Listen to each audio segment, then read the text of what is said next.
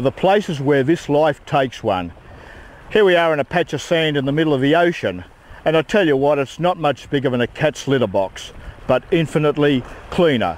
We're here to fish, dive, sightsee and take in the marvels of the natural world. This place is called Cunningham's Island and it's part of Rowley Shoals, a series of donuts in the Indian Ocean a couple of hundred kilometres out from Broome. The existence of Rowley shoals was first recorded in the very early 1800s by whalers from the Northern Hemisphere, but it wasn't until 1881 while surveying the Australian coastline that Captain Philip Parker King named the shoals collectively after Josias Rowley, the master of an American whaling vessel who first sighted them in 1800. King named the southernmost reef after Rowley's ship Imperieuse. The middle reef was called Clerke after the captain of another whaling ship who made the sighting sometime after Rowley and the northernmost reef Mermaid after King's ship. Our journey began in the iron ore port of Dampier. Unlike King, at the mercy of wind and tide, our trip was made in speed and comfort.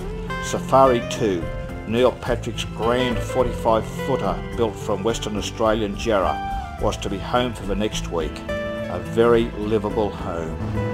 Besides Neil Patrick, my fishing mates for the trip were Ben Patrick, a great angler and these days managing director of Halco Tackle, and Don McPherson, a world authority in the manufacture of fishing lines. Don is recovering from throat surgery and these days spends as much time on the water as possible. Concept for our adventure materialised when Mustad, Platypus and Halco major manufacturers in those fields decided to produce a TV video program that showcased their product against strong fish and in a beautiful Indian Ocean backdrop.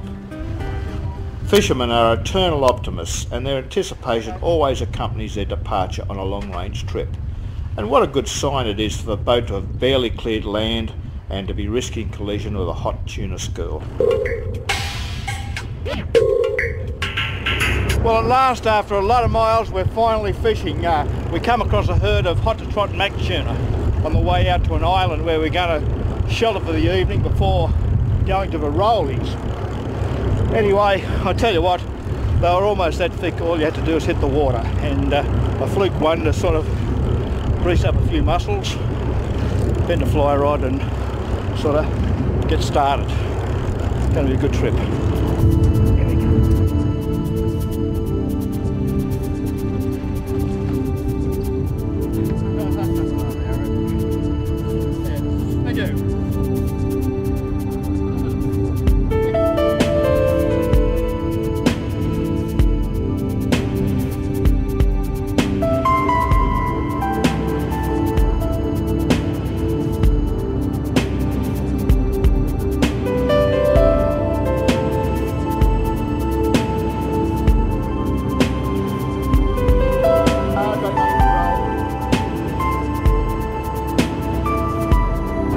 Tell you what, we got gang banged by a herd of marlin then. Uh, we had a double. Uh, ben, uh, Ben's fished through the hook and I'm still in business.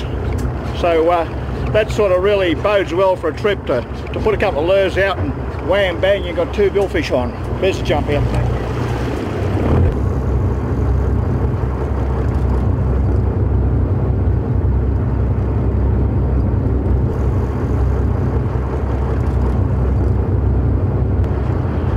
Believe it or not, uh, it's a billfish on a laser. I know these things, lasers will catch um, everything with fins, everything in the ocean for sure, and a lot of good freshwater fish too, but uh, this is a bit of a surprise. And uh, we've hooked him up, settled him down, and uh, for the next 15 minutes he's just a bit of a stalemate, and um, hopefully uh, I'll get a line back soon, and uh, we can go to work on him. Thank you, Spirit. Come on, Harrow. Bring him up.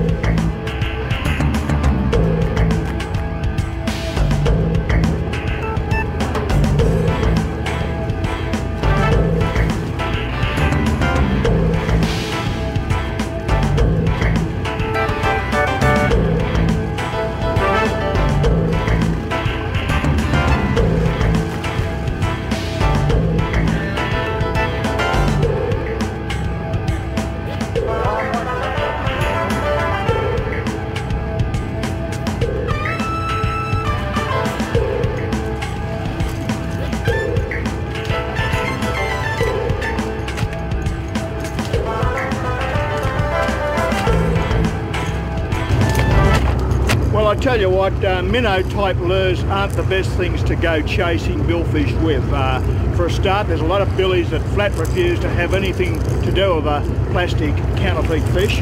And then there's deficiencies in the hooking department, uh, chewing gum rings and hooks, and uh, hooks that fail to pen penetrate, and of course just the element of bad luck. If anything can sort of go wrong, Murphy's Law, if the fish can throw a lure, well certainly it's a billfish. Actually we stuck this heavy duty Mustad treble right in the bill and uh, we're able to get him in. But great fish and uh, great to see him go back.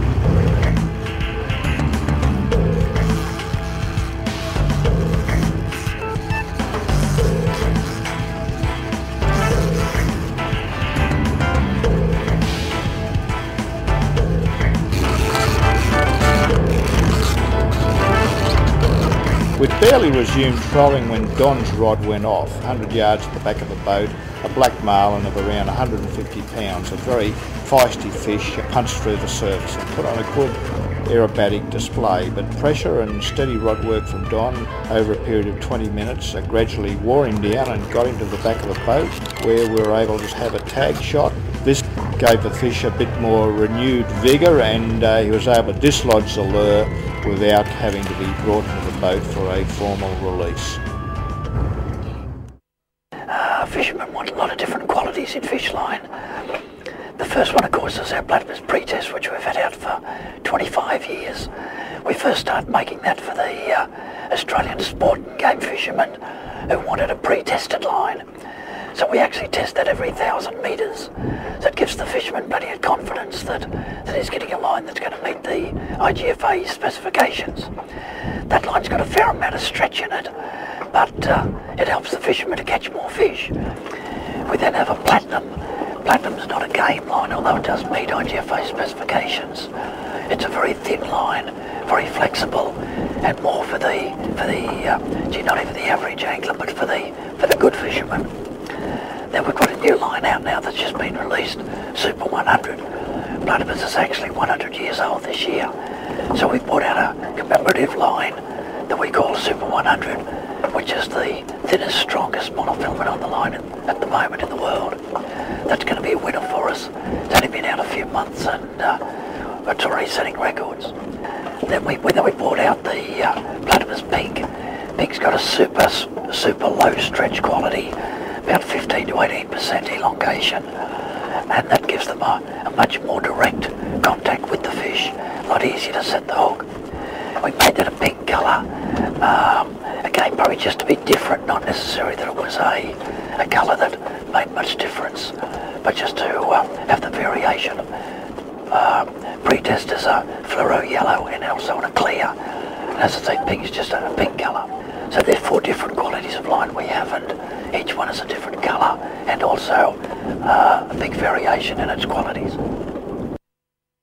Solid red dots that shows good thickness of fish, and deep uh, solid flesh. The good eating fish come up as red dots on, this, on, the, on the sounder. The yellows and blues are generally smaller and not as uh, good eating or satisfactory catch. So we're looking at a lot of lot of little yellow fish down there. We need some good solid red dots there, uh, and I'm sure they can catch some decent fish. on the surface. Love a bill. Enough bill, bro? Bill? Love a belt. There you go. Belt.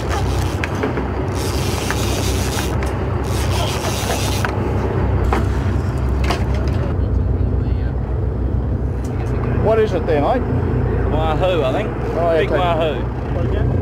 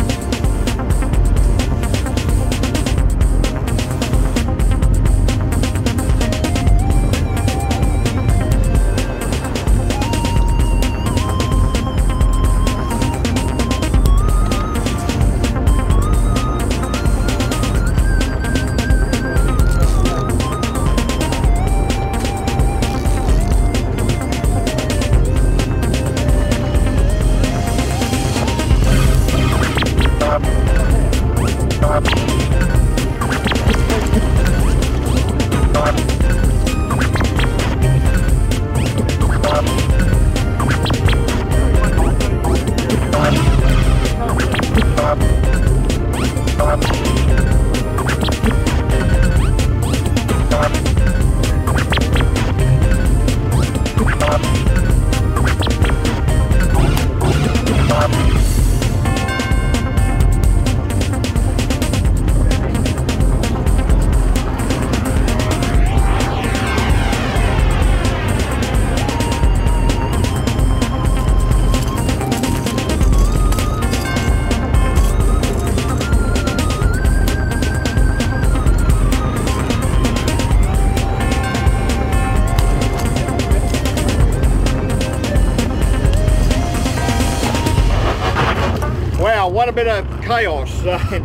paradise, I might add. We had a double hookup and uh, a free swimmer wahoo uh, uh, came swimming up following one, so I immediately dropped the rod uh, and, and grabbed the fly rod, but to no avail, and we're just finishing it off now, and Neil's got a yellowfin tuna here, which we'll gaff and get a belly flap out of.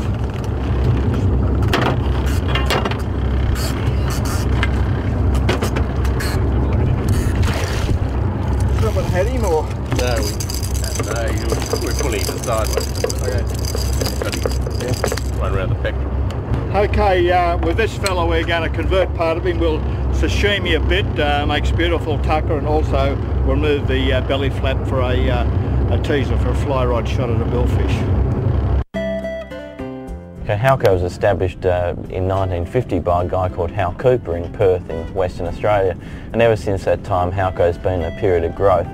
When uh, Neil Patrick, my father, bought the company in 1980 uh, it was growth continued and accelerated. Since that time we've moved into a range of plastic lures uh, deviating from just the old metal range. The metal lures we produce are now some of the finest in the world with finishes that are just unbeatable. We have excellent hardware on all our tackle. We use our unique Halco fish rings which are an extra strong split ring on all tackle. We use mustad hooks on everything, uh, on all our lures and all our rigs. Halco's come a long way since the first plastic lures were manufactured. We've recently upgraded the whole Laser Pro range to make them some of the best blue water lures in the world and uh, the smaller ones are excellent estuary and uh, rivers and lake lures. In 1995 Halco acquired RMG which was a lure making company that specialised in barramundi lures and freshwater impoundment type lures. Since that time we've significantly upgraded the range, improved the quality to bring it up to the standard that Halco strives to achieve. To have someone the calibre of Rod Harrison on board at a remote location like this at the Rowley Shoals is fantastic and the benefits are numerous. In our process of continually assessing and testing our lures, his input and guidance has been invaluable. With field trips such as this, we know that you can rely on the quality and durability of Halco lures.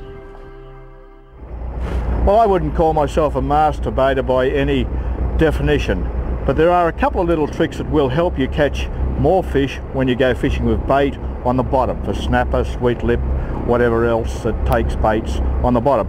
And firstly, your choice of hook. Uh, I have a great uh, confidence in hooks that have no set in them. That is a straight hook.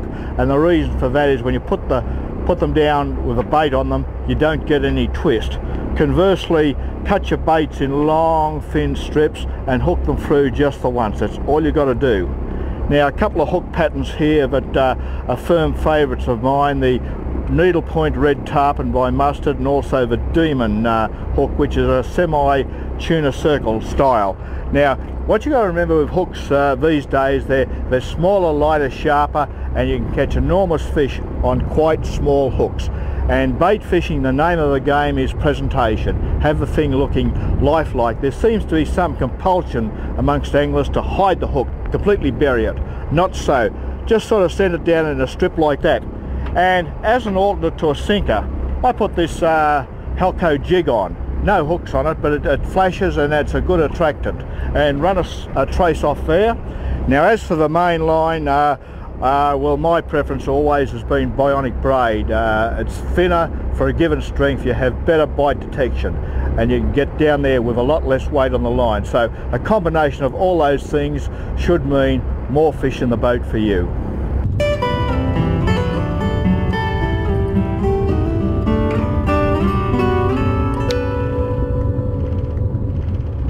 uh, little hummer's a lunar tail coral cod. See the uh, very uh, well defined crescent type uh, tail there and uh, something to do with moon phases I guess so they call this fella the lunar tail coral cod. Again bait unscathed, nice natural presentation.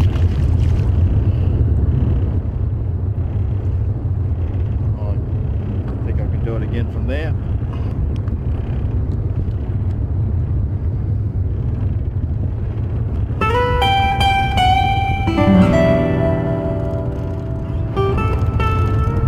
Don't know what it is, now, Red bass or something? Or maybe just something a little bit more palatable. Yeah. Should have colour in a moment. Here he is.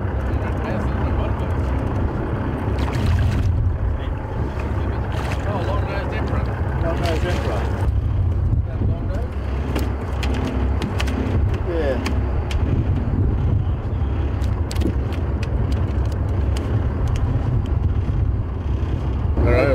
sweet Maybe. emperor, but I'm not quite sure. It's not.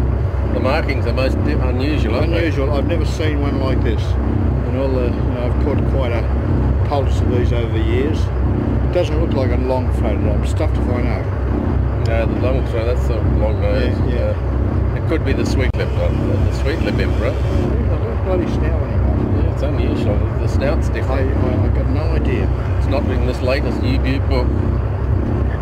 I tell you what, this one's uh, got me flummoxed. Uh, uh, physically, it's got all the dimensions of a long-nosed emperor, the long, thin snout, but the coloration, which is uh, nothing to sort of uh, go holus bolus on when you're identifying fish, but the coloration is all wrong.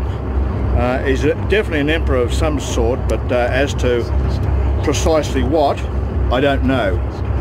Uh, there are a number of different types of emperors. Now, uh, interestingly enough, I've caught this fella on the, this new Mustad demon hook. It's kind of a tuna circle uh, uh, format with the curved in point there. And uh, once the fish gets them there, gets one of those down, it, it, it's there for life. Well, until it rusts out or, or, or an angler removes it. But a very secure hook for uh, bottom fishing. Certainly one of my favourites.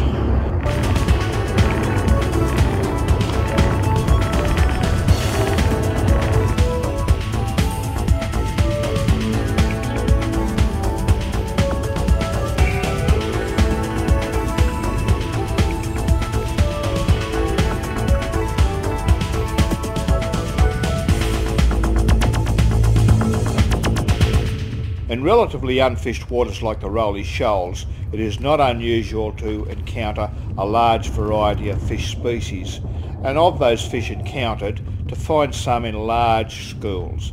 This applies for both pelagic fish and the demersal species. Around the drop-off where the atolls uh, plummet down to the ocean depths, uh, wahoo and tuna are found in big numbers. And in on the ledges you get uh, emperors, particularly the long-nosed emperor, in uh, school and uh, perhaps even plague proportions. So there's a, a good togetherness amongst the fish there, both the surface fish and those that live on the bottom.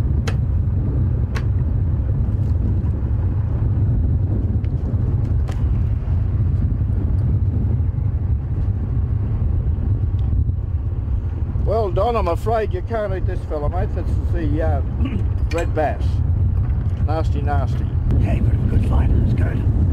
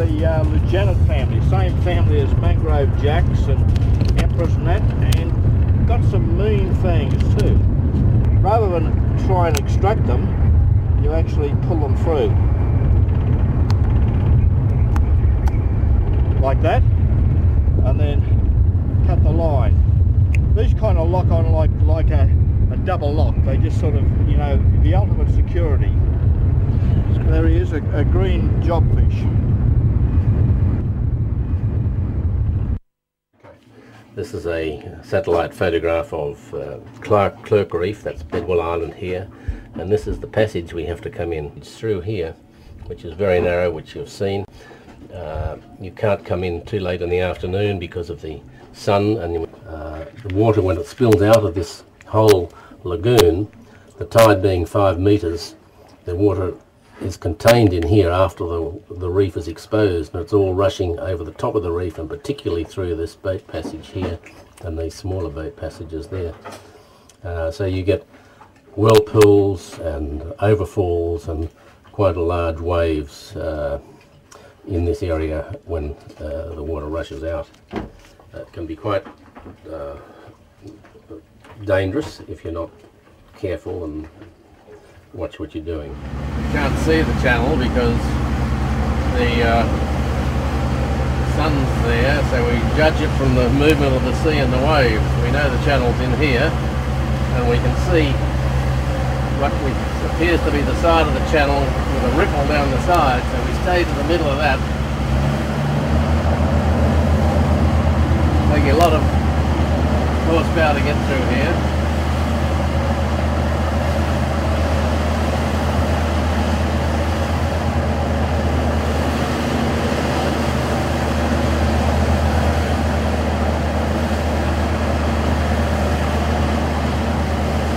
See down the edge there, you can see a different sort of colour on the water, not colour but so much of the ripple. And that's the edge of the channel.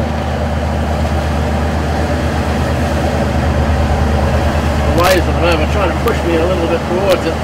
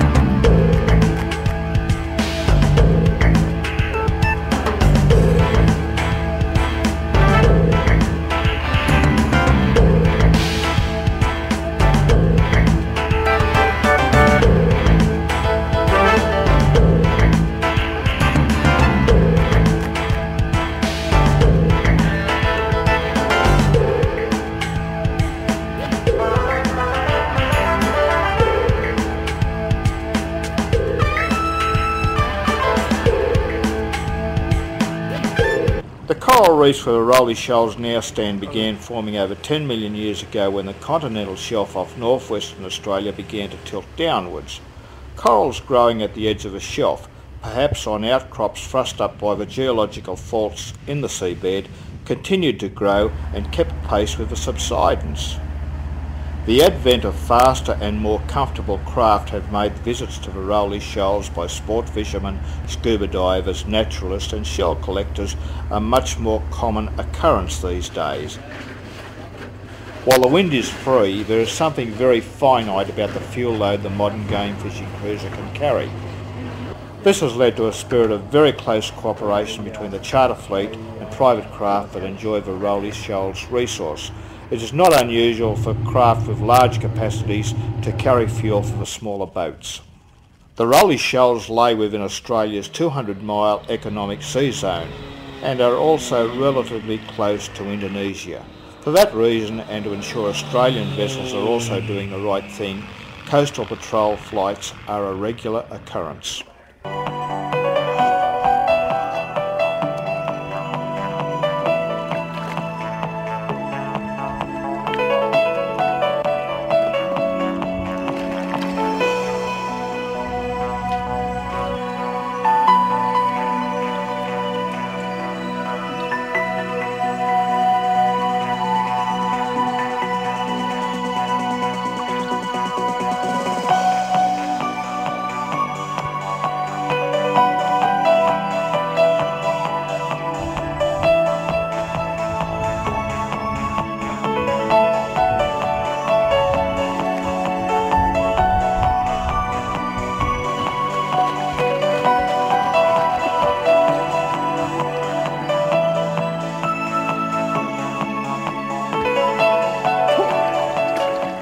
Was great.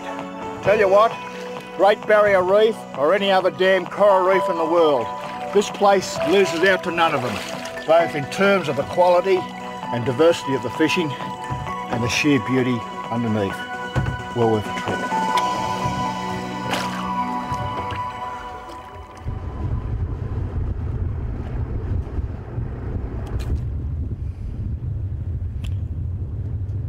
Casting lures over coral bommies and along the edges is a very exciting form of blue water light tackle sport fishing, especially where those edges are vertical and contain lots of overhangs and deep shadows.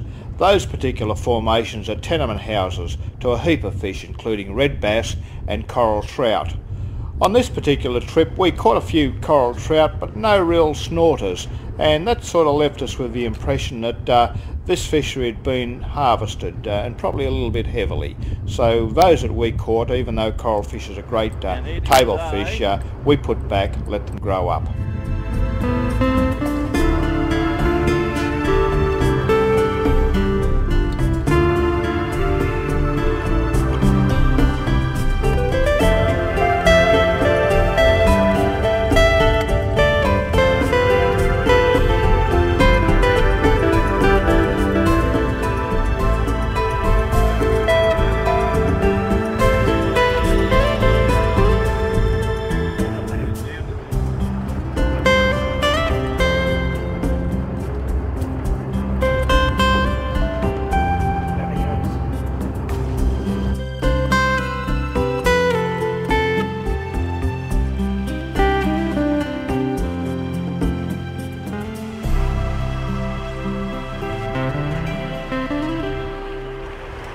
Time to time there have been hearsay sightings of bonefish that have come from the Rowley Shoals.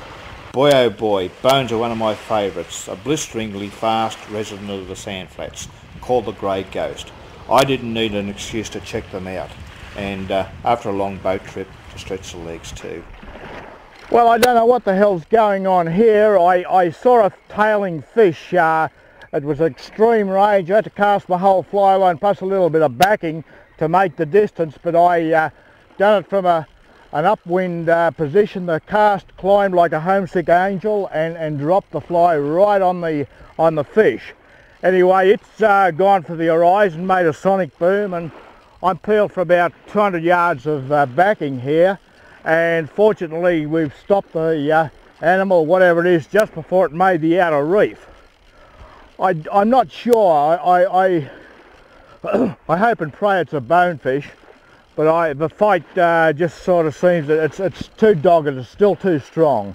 I suspect uh, one of the trevally uh, species that, that, are found around here, but uh, my God, talk about a sonic boom, but here we are, we've got the fly line coming back.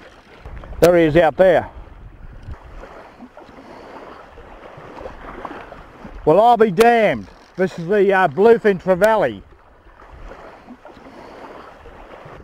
A fish they call uh, Caranx melampygus and a first cousin to the uh, uh, GT. Beautiful fish, beautiful, beautiful, beautiful fish.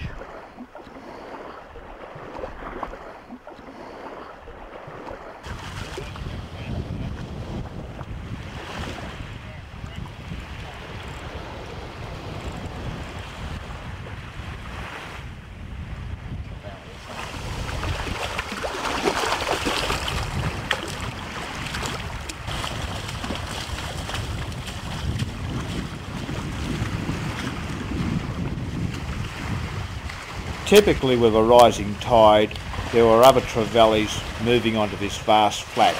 Ben scores of the minnow lure, a neat little fish, and not long afterwards Neil is in business with another beautifully marked bluefin. What an aptly named fish.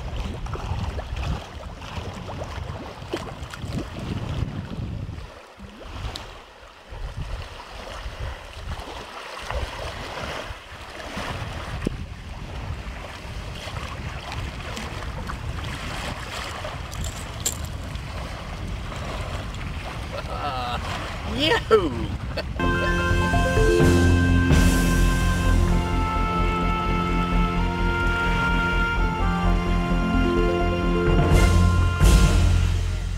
decides to get a bit more distance. He can see fish further out than what he can achieve uh, distance-wise with a plastic lure and puts on a twisty and uh, that saws out and first cast, bang. He's in with another trevally this time the ordinary common old GT.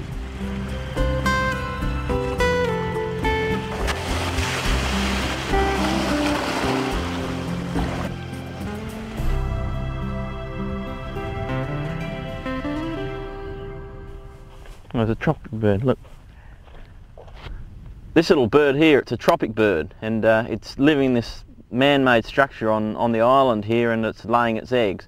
There's a few of them all over the island and uh, they come here just to breed at, at certain times of the year. There's even one further down the hill with a, uh, with a little chick. That you can tell it's a tropic bird because it's red tail and as they get older they've got a slight pink colour to their, to their plumage.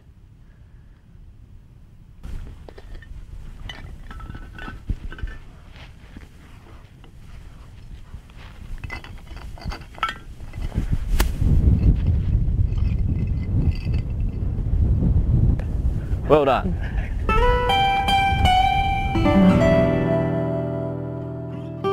Another great day today. You know, we've got some good fish. What about that cast of harrows? That was really good. That right onto the front of that blue trevally. Bloody good fish. Bloody, yeah, fluke. Fluke. Beautiful colours. That far away. You can't do flukes one after another, Harry. Oh, big fluke. Big fluke.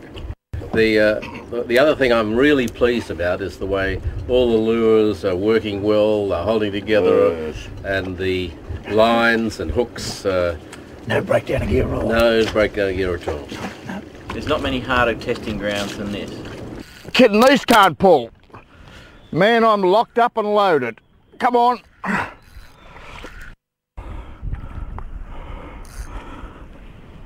Not very big, but here we are.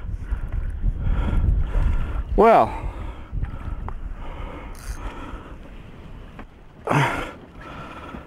a red bass. Here we go hit the night walker dead center and I reckon he thought he was a little turtle. Well there you go, the red bass, uh, a notorious taker of surface lures and a very nocturnal animal and we got this one on the night walker. The night walker was devised more as a lure for Murray cod and bass back in the eastern states but uh, me thinks it looks a little bit like a turtle and, and these red bass, red choppers, uh, are major predators of little baby turtles as they take to sea.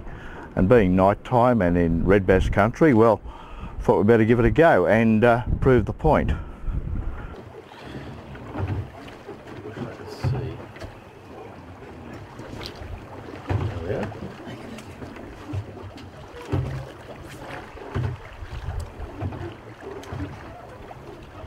Must be a nice good fish. You haven't any trace on there. or not? I don't know.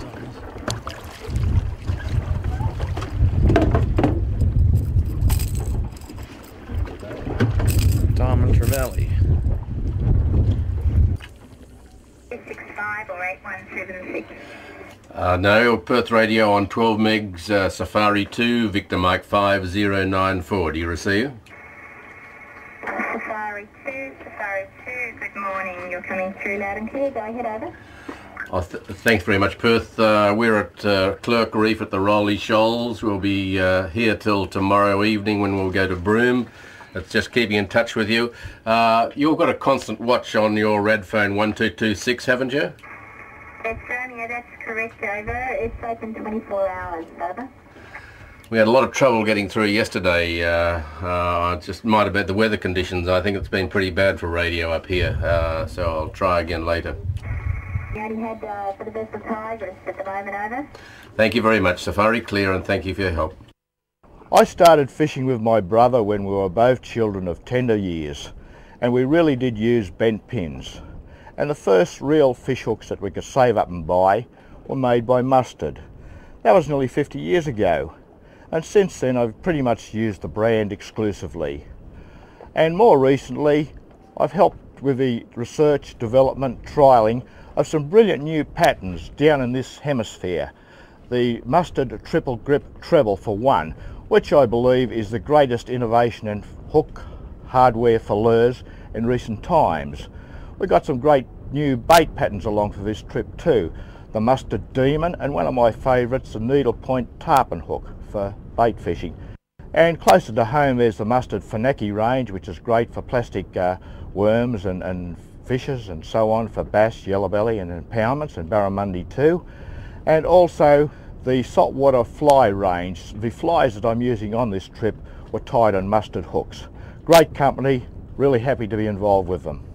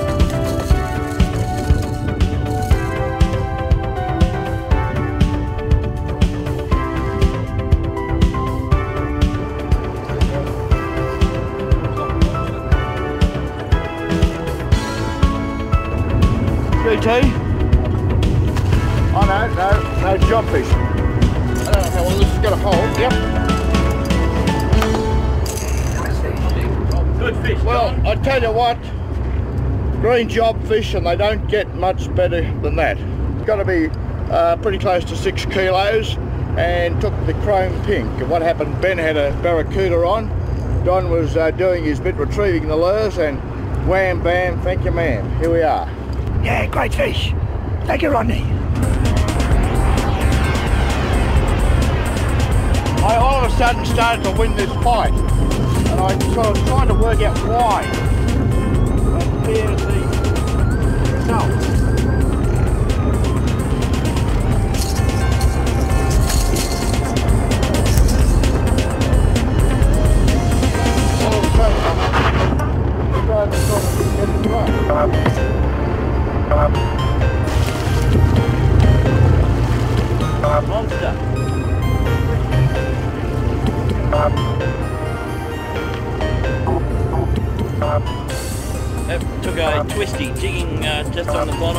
of drop off. Nice little red bass.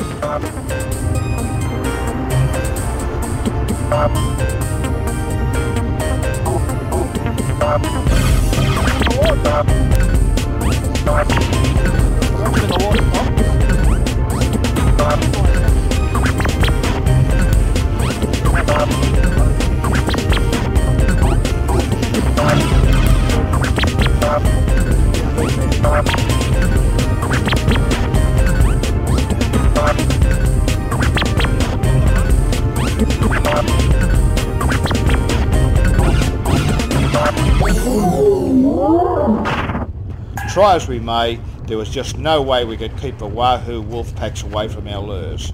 Not that there's anything wrong with that. They're an exhilarating fish to catch, one of the fastest in the sea. And not that Don, myself or Ben really minded.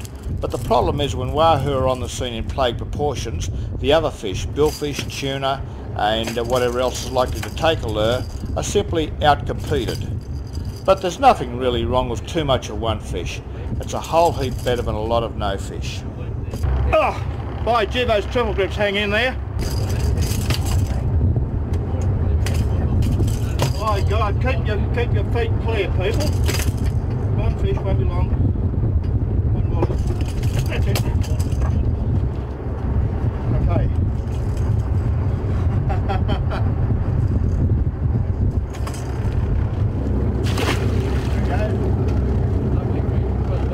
You know, out here in these waters where there's billfish, wahoo and tuna, it's a battle zone for lures and they do get damaged, uh, not only by the fish but uh, with our removal process, keeping our catch and release ethic alive, we occasionally distort the hooks, pulling them out of the fish. Uh, these are the Mustad uh, triple grips, great hook, uh, once they get in they really hang on.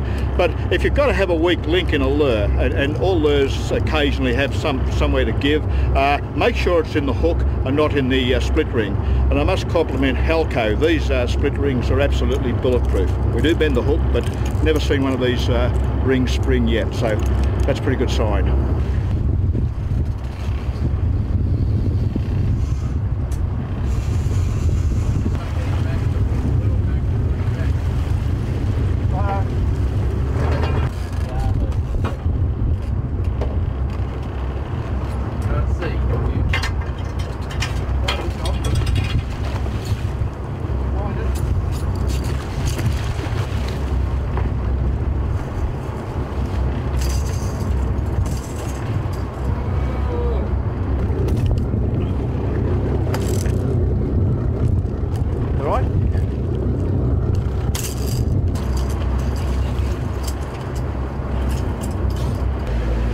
Done, Don.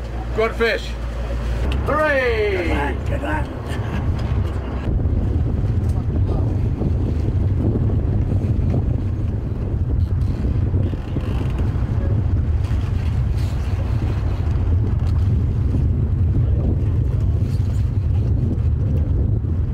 Donny, you making any progress there, mate? Mate, I think it was a case of the, the mouse taking the cheese and something's grabbed the mouse. Maybe the pussy.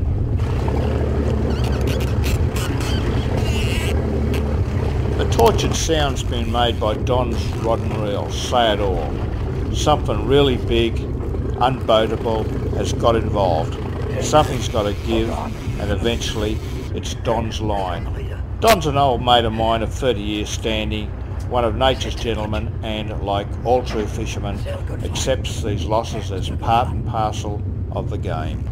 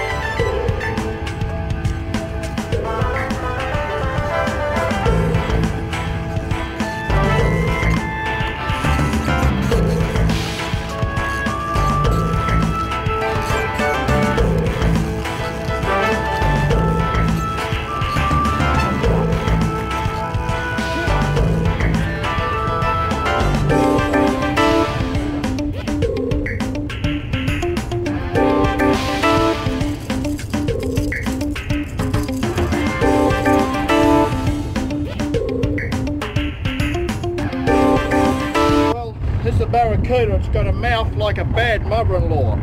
And uh, it's got no place on this boat, so we're going to whip the hooks out and uh, put it right back.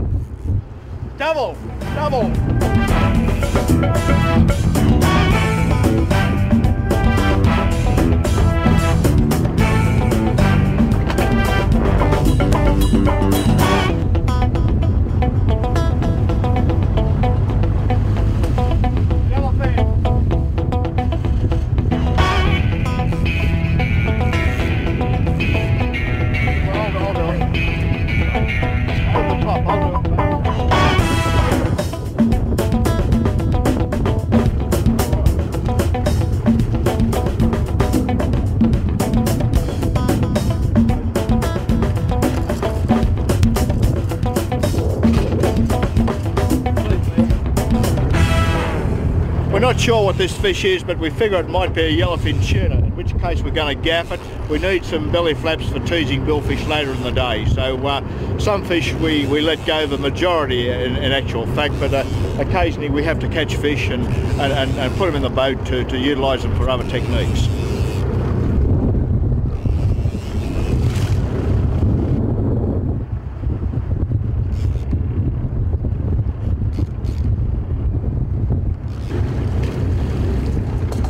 Hold on. that one I got him just cranking back, flat chat. Well, I tell you what, there's nothing like taking advantage of a situation. Ben was just free spooling his lure out to get started and wham bang, he got hit. And uh, I was already out past him, so I flat strap retrieved back and we picked up a double. So we got two uh, nice belly flaps so we can go bill fishing now.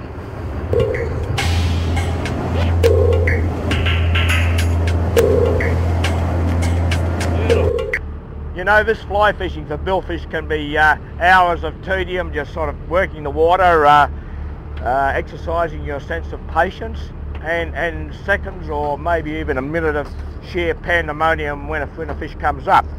But uh, to, to help get the fish up, we use uh, what's known as teasers or daisy chains, and uh, they comprise of all sorts of paraphernalia. One of my favourite combos is to sort of sweeten it at the back there with a belly flap. And then I, uh, the next link in the chain is a Halco Giant Trembler. Combines heaps of flash and a lot of noise. Okay, then we come up to a daisy chain of squids, which are very, very lifelike. and at the top of the uh, daisy chain is what's known as a bird. Splashes along the water and this is tied onto a rope so that we can pull it in fast when a fish uh, comes up. Now the rationale behind it all is that uh, this attracts, with all the flash scent, noise and splash, attracts fish and they come in on one of our smaller, more natural baits which we rig up to swim but it hasn't got any hook in the uh, bait. So we transfer them off this one to the smaller teaser and by that time hopefully they're hot to trot enough to eat the fly.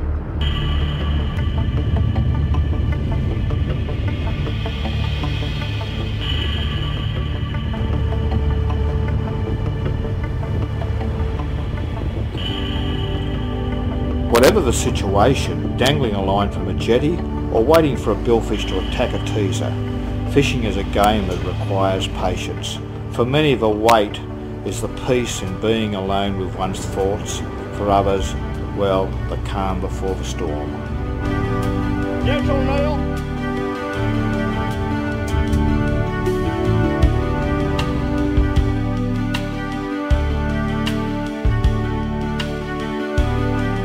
Got it!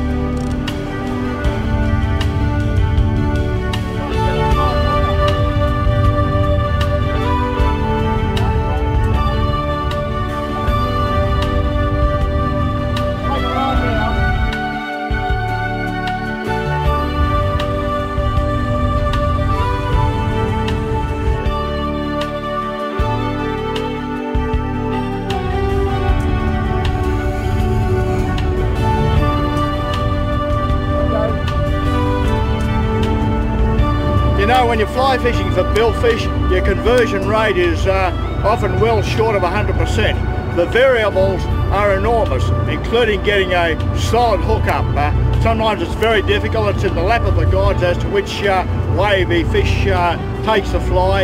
And in this case, uh, well, the fishing guides were on the side of a sailfish and uh, didn't pin it properly, got a bit of slack line and paid the price. But more out there, I hope.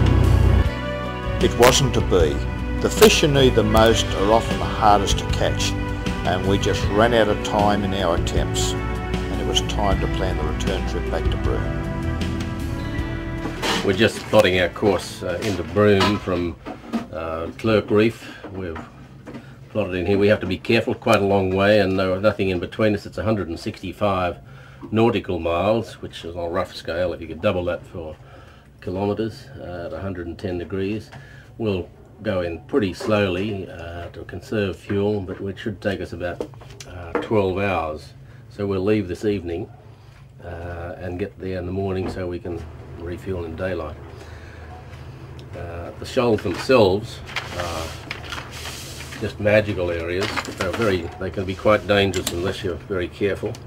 So there's a lot of planning and forethought and careful navigation. If you get into trouble out here, there's a long way from help and quite often you're out here by yourself and uh, so that you that's this extra bit of caution that you put into the whole exercise. You know, memories are a big part of any successful fishing trip and there's no better place to enjoy a Rowley Shoals afterglow than here at the Cable Beach Resort in Broome. I'm going to chill out here for a few days, do a bit of maintenance on my gear, get the salt off, have a few cold beers, generally chill out. Plan the next trip too. I'll see you on the water, eh?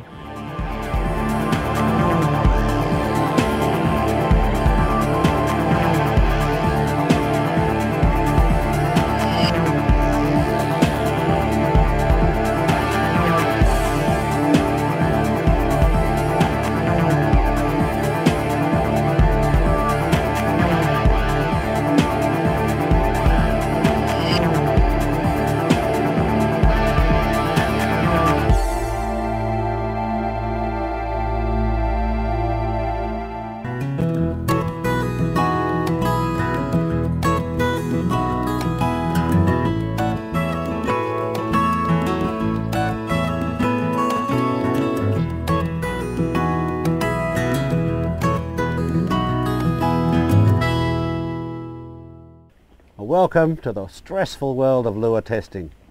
We're here in the world-renowned Halco test facility off Fremantle and it looks like another tough day in the office.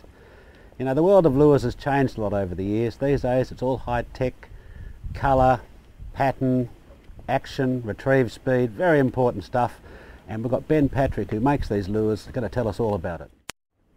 Yeah, I spend a lot of time in the water and on the water, um, both fishing and under the water, looking at what bait fish do and what predators do when they are attacking bait fish, and that uh, helps our lures have the edge on certain occasions, or most occasions. If we're looking for a lure to crash dive, we'll actually be looking at its rate of descent over a given distance and uh, compare it against other crash diving lures that we have in our range of different sizes, so it's a uh, very much a comparison thing. Yeah, there's much theory about colours and we try and prove up the theories ourselves rather than just rely on hearsay and um, some of the underwater footage you'll see, it's incredible how, how bold the reds are of the, the, the gills of the lures and uh, it's one of the reasons we find that we think it's so important. If you see bait fish underwater when they get frightened and turn away, their gills flare as they put more water through them and uh, you can always see a big bright red of, uh, flash of red and that's what we try and do with our lures, imitate a, a frightened bait fish. We listen to um, all anglers, but particularly a, a, group of key anglers that we work closely with, and uh, we listen to what they say and we try and make changes accordingly to make lures to what, what the anglers around Australia and around the world for that matter want.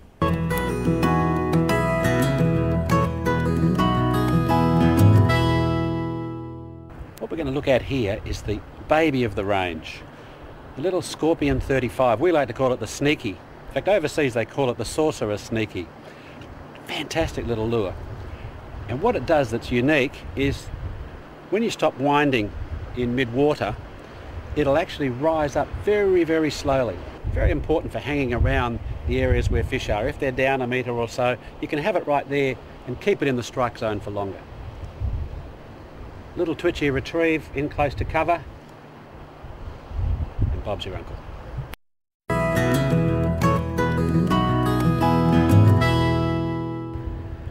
The smallest of the Laser Pros, the little 45. Fantastic little lure, especially for shallow water ambush species that live near the bottom. I'll show you why it's so good. This little lure is a slow sinker and when you retrieve it, it comes back very much at the same depth. So what you can do is let it sink to just above the bottom, above the weeds, above the little snaggy bits that are going to spoil your fishing, and you can bring it back close to the predators. I'll show you how it works. Slow sinking. Okay. You can even use this lure to drop down right alongside jetty piles. A lot of fish like to hang around the piles and feed off the, the weed and little crustaceans. You've got the lure right there in their territory, let it sink right down alongside and then start to work it away. The same thing applies in fresh water. Uh, and the lure will sink just a little bit quicker in fresh water as opposed to salt. And really good for working drop-offs along timber where you could actually run the lure right close to timber and then retrieve it, maybe along, along the length of a fallen log that sort of situation. Makes it a very effective freshwater lure.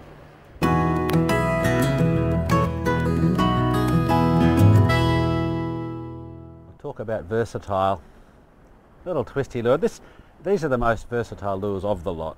Uh, available in sizes from one and a half gram to 70 gram and you can do anything with these things. They, from the moment you, they hit the water after you cast them, they start fluttering down, they get, they get taken by a lot of predators on the drop you can fish them from any depth because they sink quickly, obviously. And one, one of the best ways to work them is to bring them back fast, rod tip high, so it's splashing across the top. Just looks like a little bait fish trying to flee a predator. And uh, a lot of the quicker predators, things like tuna, just can't resist them. This one's in 24 karat gold plate, also available in chrome, and uh, both finishes work great.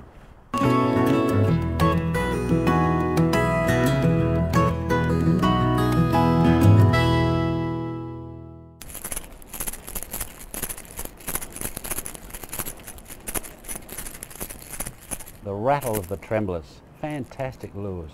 Really versatile, make a lot of noise as you can hear, quite weighty so you can cast them a long way. And gee, there's a lot of ways you can use these. Now, they come in a range of sizes. You can, you can just cast them out and retrieve them fast and they'll come back in with a very fast vibrating action. You can let them sink down deep and then you can rip into them with the rods and you'll get that really strong rattling noise as you rip it up through the water. Really turns on fish. They're quite exciting things to use fantastic in fast water when you want to get down there a bit, you know, in the current and fish can pick up on this very quickly in that tumultuous environment. show you how we use them. Let it sink down and start to work it back up. And underwater there it'll be making quite a lot of noise. Hopefully attracting some nasty predator.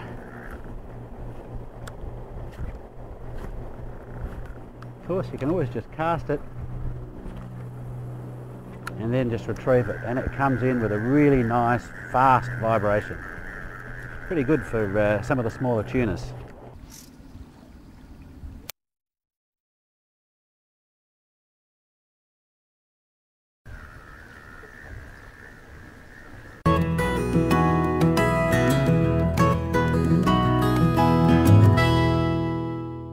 Okay, we're moving on to the big little lures. The Scorpion 68.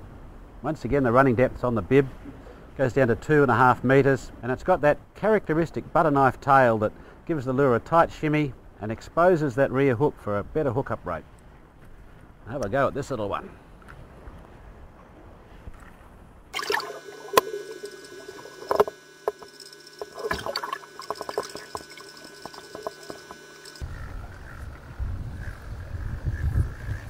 And that gill, have a look at that, have a look at that gill again. That's that's fantastic because you can really see that red and uh, that, that's got to attract predators.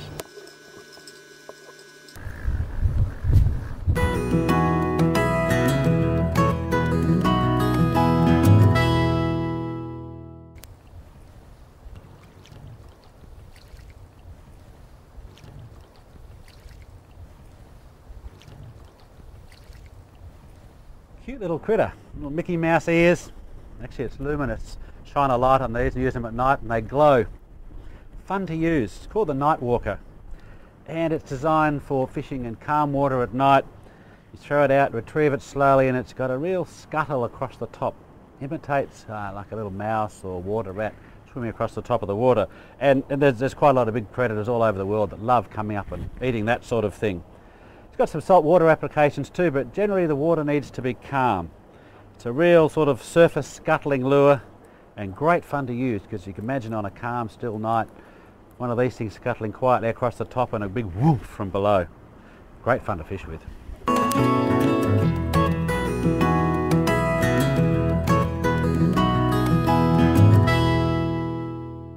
Well, in the mid-sized lures, there's not much better than the Scorpion 125. This is the 4 metre plus model.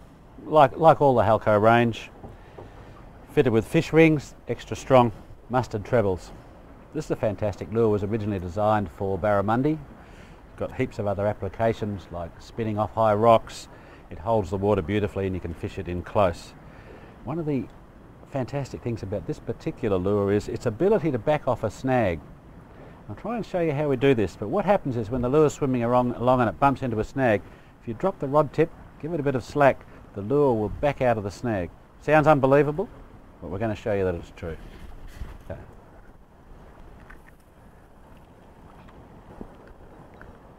So, I'm retrieving this in fairly snaggy country.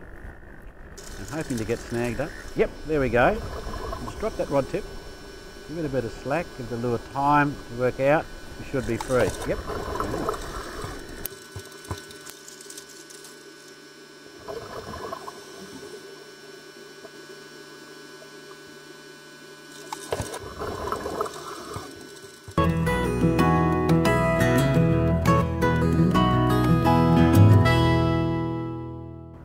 Class of lures we call the crash divers. Exciting stuff. Poltergeist 80, little Tilsan bass. And both these are designed to really get down fast. As soon as you start to crank the rod, it's when it hits the water, down the lures go. So it's great. So you can cast up against a rock wall or right hard up against a snag, a drop off, and the lure will go straight down to where the action is. Crash divers. See how we go with these. Cast out hard up against the obstacle. Start to wind and give the rod a bit of a whoop. And that lure goes straight down on a crash dive. Down there where the fish are and you're into the action.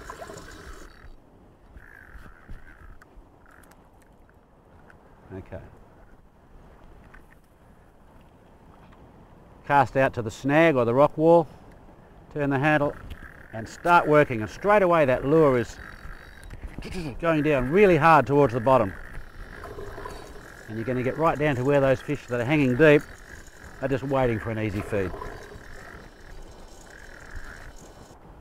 Same story with the Tilsan bass. Throw it out to the snag, a couple of rips on the rod, get the handle winding and that lure is going to work its way crash diving straight down near the bottom of the snag and that's often where the really good fish are.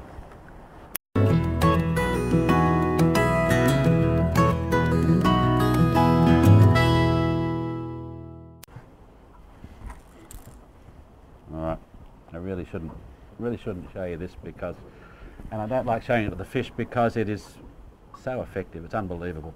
This is the Crazy Deep. It's a Scorpion 150 with this remarkable bib on the front that Halco rate this as going down 8 metres. I've actually snagged up in 9 metres of water with this thing and it, it's just incredible that such a small bib can get it down that far. It's particularly good in medium depth reefy country, say sort of 10 to 15 metre depths, where this lure is going to be trial when you're trialling it at four, four and a half knots, it's going to be down there right, right near the fish's homes, you know, for species like coral, trout, that sort of thing. Uh, you just can't beat them. Fantastic, wonderful trolling lure that will catch fish in situations that no other lures will. Uh, don't leave home without it.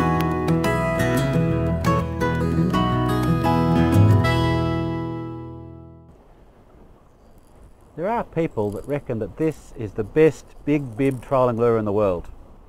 I'm not going to argue with them. This is the Laser Pro 190 Deep Runner. Fantastic lure.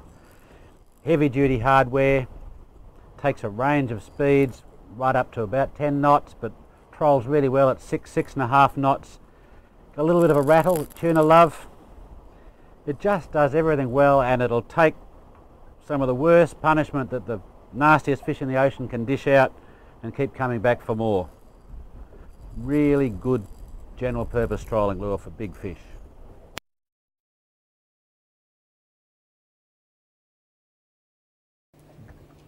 Have a look at that contrast, that red head really stands out.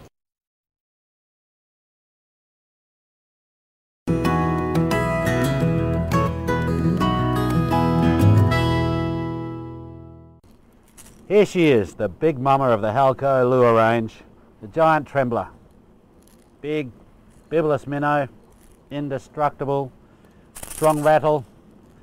It's the bane of every big pelagic in the world.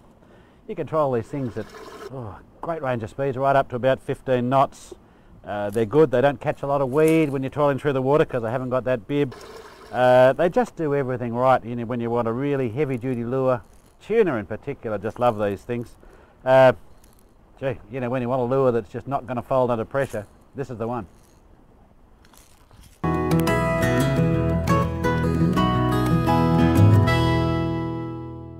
Okay, well, now we're going to look at a, a couple of lures that do the same thing but at different depths.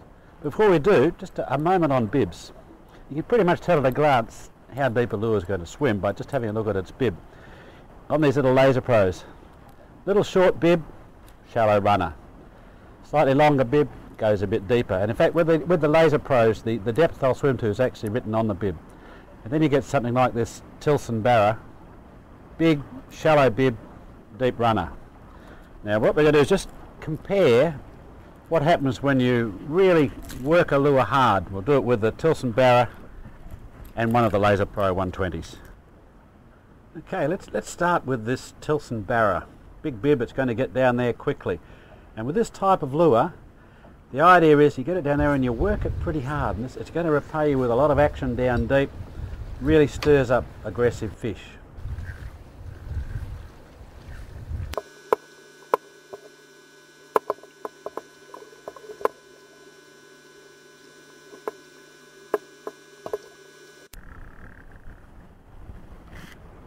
And with the Laser Pro 120, same sort of vigorous action, but this time at a shallower depth.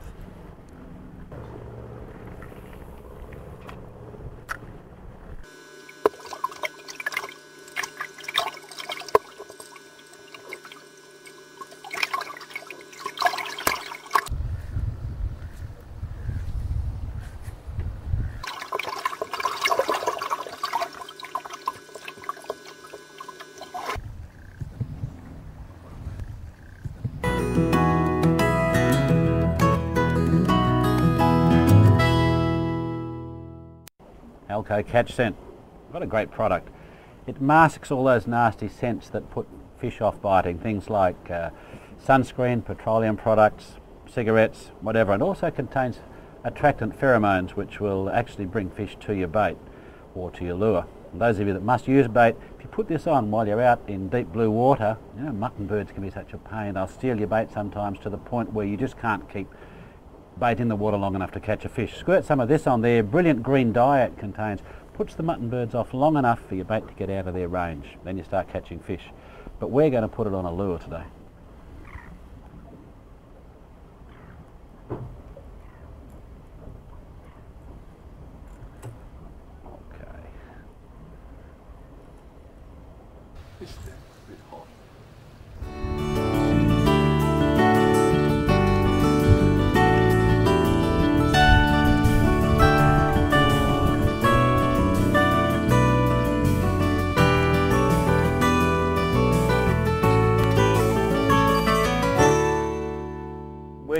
Continually testing, assessing and improving our lures, whether it be colours or adjusting bibs or making new bibs. So it's, uh, it's essential we keep up with current trends and also uh, keep improving our lures.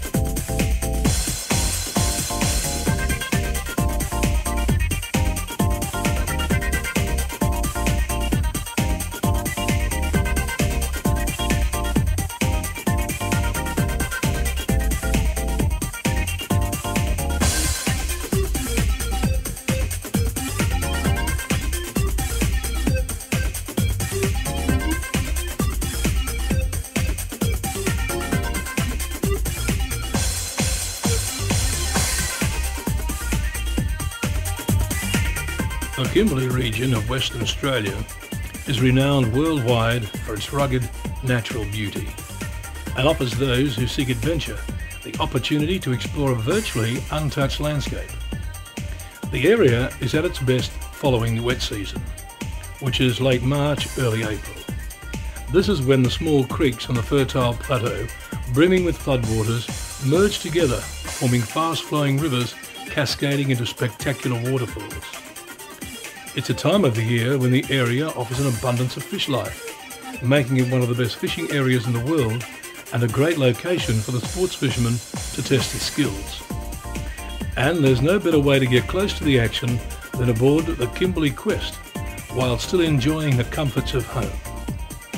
One very keen sports fisherman is well-known photojournalist and fishing expert Cole Roberts, who took this time of the year as an opportunity to put Halco lures and platypus lines to the challenge against the fighting prowess of some of the many fish species that populate the rivers of the Kimberley.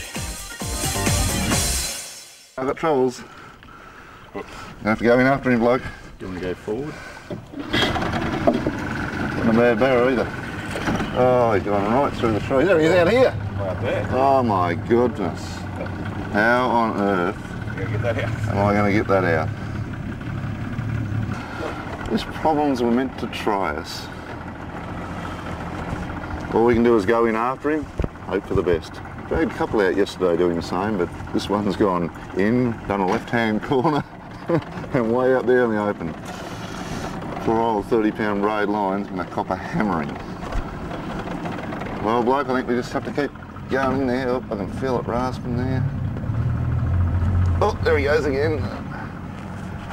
Oh, look at him there. oh, no. I have to swap your spots, Kerry. Yeah. Sort of.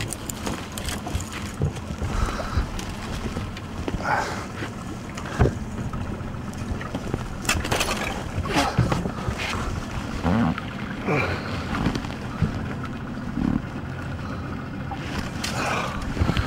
Wait,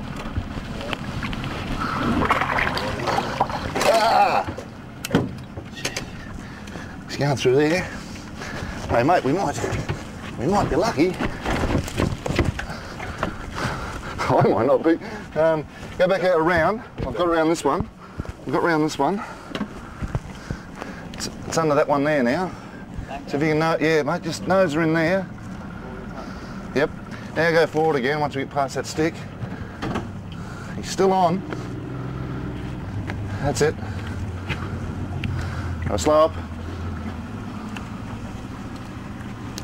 Oh, he's running again. Just waiting there. Unbelievable. Back round this one, Paul. We can just get round this one. Take this gently now so I don't spook him. Just keep going backwards. Keep going backwards, Glenn. There he is. There he is. Oh. Keep going backwards, mate. That's it. Keep going backwards. Oh, I can feel him on more sticks. Oh, he's going back in. Keep going, keep going. Let's keep going. Beautiful.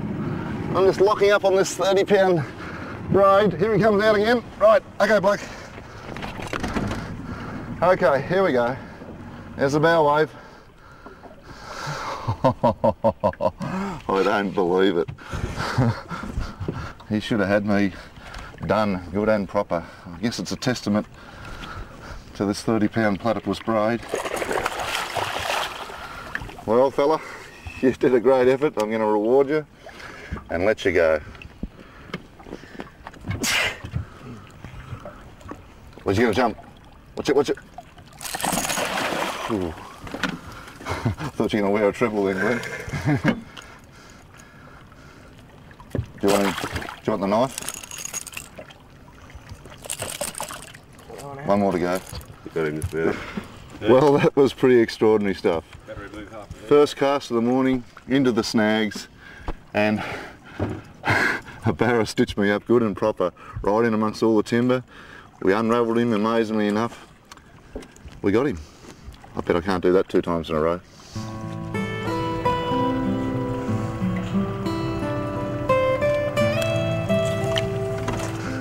Oh, that, come out of those snags, man. Come out. Beautiful.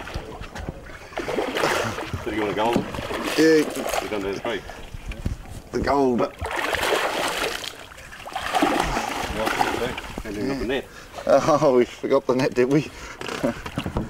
Very nice. Nice fish. You on there, Glenn? Oh, Yeah. oh. Where'd you get it? There. I was casting right there. Come on down here, Cole. Is it? Right here. Right here. Swirl him round. Oh, beautiful. Got him. Oh, he spat it. Oh, well done, Kerry. Here goes one, look. Oh, oh, oh! Oh, gee. Oh, he's got me in the sticks. I don't know where. I'm just hoping for the best. Uh, get us out, Glenn. Get us out, man. oh, I can feel that line. It's braid. Oh, rasp, man. Hang on, Glenn. Um, oh, there he goes again. Oh, I'm dragging him back. This will be amazing if we get it out of here. I can feel it rasping on that line. Can you see the fish up in there or not? Here he is, he's coming out. Get, get us out now, get us out now. Go, go, go, go. Go, go, go out. That's it, go, keep going. Get through, get through, come on fish.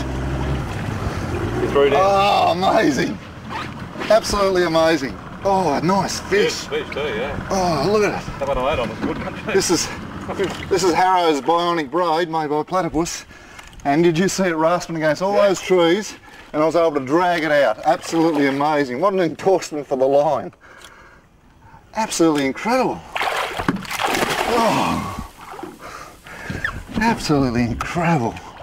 Well, I'll tell you what, I'll be sticking with this braid line amongst these snags here. Just dangled the lure in the water. Round, bang, up he come. Amazing. Okay, Glenn.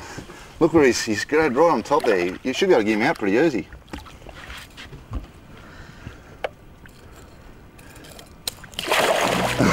amazing, absolutely amazing.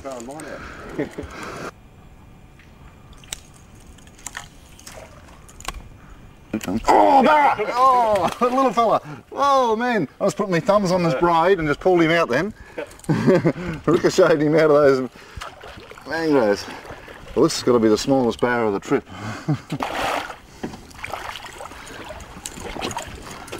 yeah, Blake. Those pliers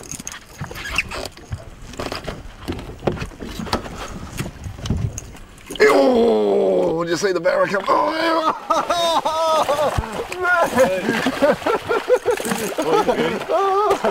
man!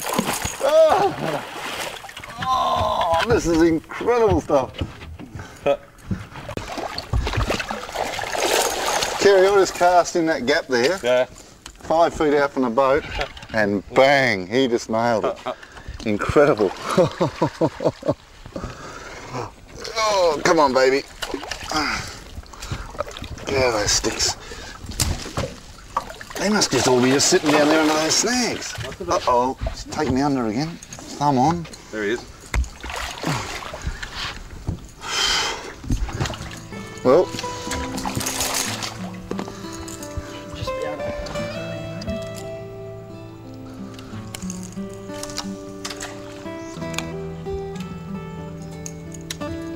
There we go. Come on, I'm dragging him out. I'm dragging him out. I'm dragging him out. I'm dragging him out. There he is. Oh, beautiful. Unbelievable. Just in that, in those mangroves there. You lock up and hang on to this braid and it just drags them straight out. Oh, man. Oh, oh come out there. Here we go. Double thumb lock. Turn him. Oh, pull him out. Uh, I was locked up here with double thumbs. And then I just, ah. Gone.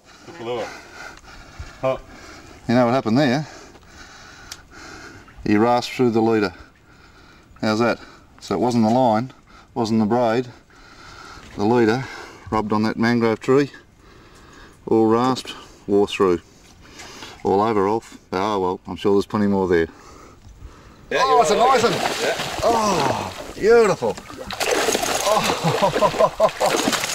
he Ooh, nearly, that's sorry, Gary, nearly got onto you. That's. Oh my goodness. Oh, beautiful. He's a nice fish. Gee. The dinner gong has been sounded. I'll let him head first in, Glenn. Okay, let's bring him head first. I'll just spin him around head first now. Ready? That's it. He's nice. He's nice. very nice. Well done, mate. Well, Kerry, we knew they had to be in there, Yeah. and we just persevered until finally, bang, they started chewing. There's snags there. I mean, they're low lying. There's plenty of spots for the barras to hide, lay up. Not real good. Oh, beautiful.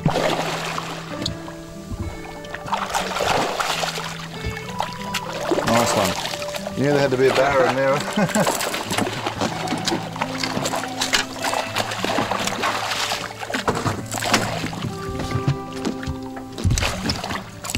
The water's clear. I watched him fall that out and it's just kept it in front of him, but he took it. Uh, Thank God, I might have broken my walker. yeah, watch it for a second. Oh, please have another go. Stay on, stay on, yes. You beauty. Bill's bug. you little beauty. Gee. Oh, that's okay. you little beauty. Bill's bug worked again. Hot stuff, Gary. Hot stuff. Just waiting for him to swallow it so I can stick him.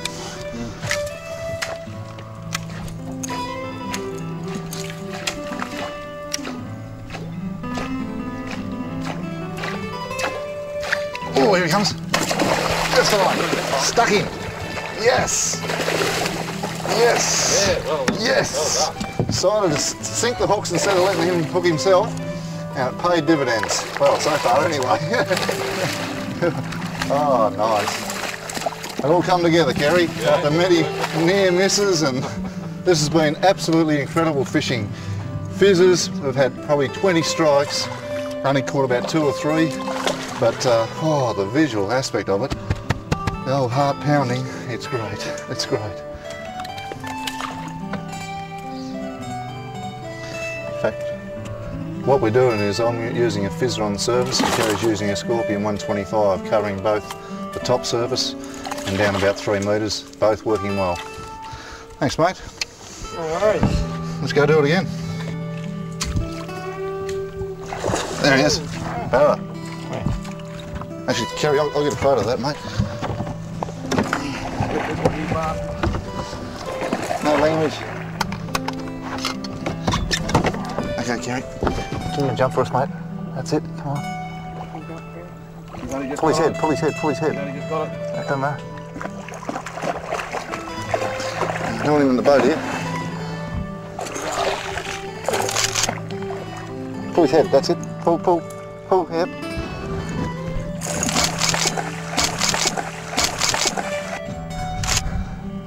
Hey boys, hey. okay. You reckon he'll go? Yeah.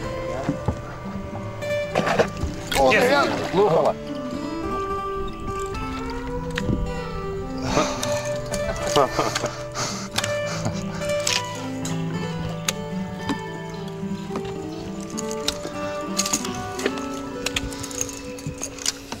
Wazza, can you grab a trembler out of my, um, a big trembler, the 110, out of the tackle box? Um, oh, don't worry about it.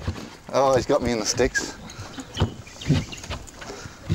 Oh, there he is out there. Oh, how do I, how, You're going around what that stick, uh, Any suggestions, Kerry? We'll break that stick I think.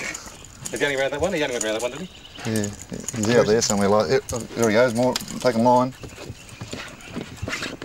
He's aiming free spool, mate. Um, I've got no idea where he is.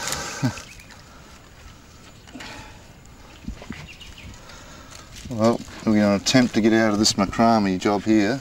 Uh, I don't like our chances. Oh, there he is, jumping out the back. We take it easy, it's okay. Well, I'll be taking it easy to croc them for me. Nice. Uh, under the motor here. Cool. Here we go. Oh, now where's it go? Another stick down there. Big stick down there, Glenn. big Stick down there. Big stick. Uh, I think it's going to be all over Ralph. Go, go, go, go, go. Good one, Glenn. It's okay. He's not doing much. It's okay. He's back in here, go, he's back go, in here, go he's for it. back in here around the front of your boat. Oh, is he? He's under the boat. Oh, don't go back in those snags. Here he's coming out the side. He's, I'm leading him out. Here we go. He's swimming with us nicely. Swimming with us. Here he comes. Oh, beautiful. Kerry, Yeah. I'll get you to fire him on and get a shot, mate. Just put the finishing touches on.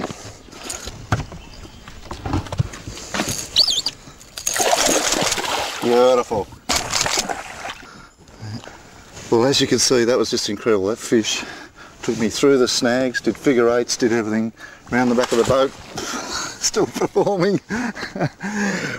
we were lucky enough to unravel him. He went out in the middle. We got him. You win some, you lose some. At least we won this one today. That's a barra. See him nose down? Yep. Oh, yeah, yeah, yeah. Okay. Right, Glenn, just a little bit closer.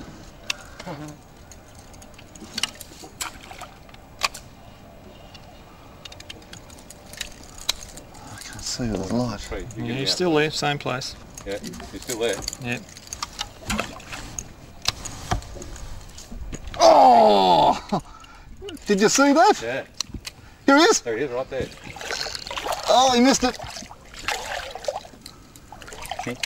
Oh, no. Yeah. You got mine? You got yours? Yeah. You, Oh, oh, no, he missed it again. Hey, he's still there. There he is. Oh. Oh. There, oh. You had a go at mine as well. Unbelievable. He's a rotten shot, isn't he? It's all, oh, he's having another go at mine. Oh, has he got glasses on this fish? he. There he is, he's got it this time. You got this. Sorry, take. Get us out of here, Glenn. That's it, he's coming through. Yeah, he's there. You got it. Oh, spat it. well, you about four goes before you What exciting fishing. Spotted a free swimmer, just nose down, tail up. Had about four or five goes at both our lures. Finally hooked up, but he escaped. Let's see if we can find him again. Here he is, he's, you're on, you're on. Oh. He's under that tree, but oh. No, you missed him. he missed him. He had a go at it. There he is. Oh, look at that. Look, he's got it this time. Oh, there's another one in there. Kerry, there's one in there and there's one following mine. Oh, this is unbelievable. Only trouble is we're so in tight now. Oh, we're just, just, oh, another one. We're just dangling our lures here.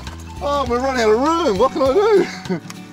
Oh, Glenn, um, get us out of here.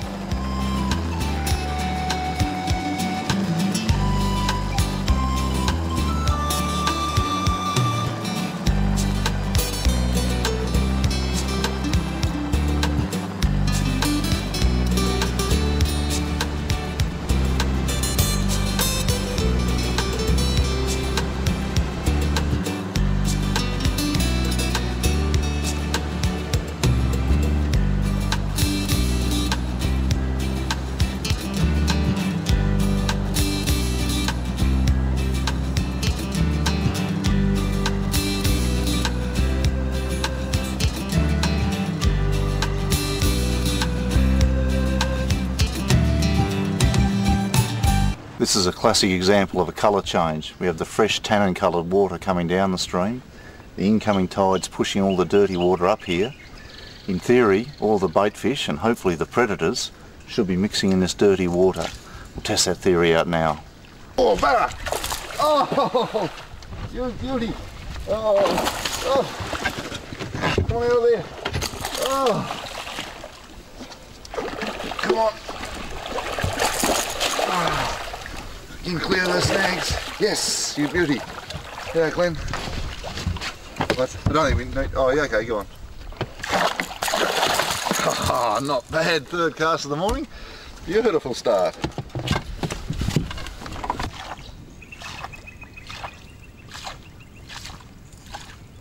Oh! Did you see the size of the barra?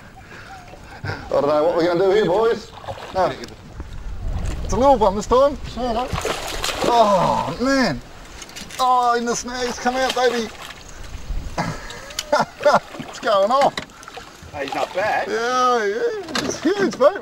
Can I put him in the boat? oh, don't worry about that, him, mate. You just about unhook him there. Unless you want to bring him in, do you? Really? okay. Make him jump. Uh, this has been sensational. These snags have been here for about half an hour. It's just barra after barra. Fantastic. Incoming tide, early morning light. Obviously in a biting frenzy.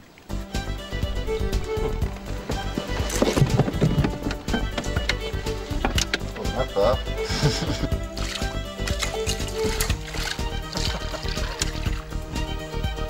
oh, oh, Jeffrey, beautiful! Absolutely beautiful. Oh, it's a good size too. Yeah, it's a ripper. It's a ripper. Look at them. Oh, not in the snags, are you? Oh! what? Actually saw that barra's tail. Oh, man. Oh, Look at him. Look at the size of it. Oh, watch out! Do that again. oh, mate. oh, what a classic. Oh, Jeffrey. Okay. All right. You? Stand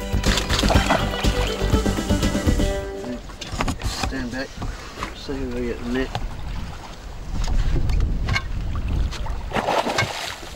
You around the side, mate.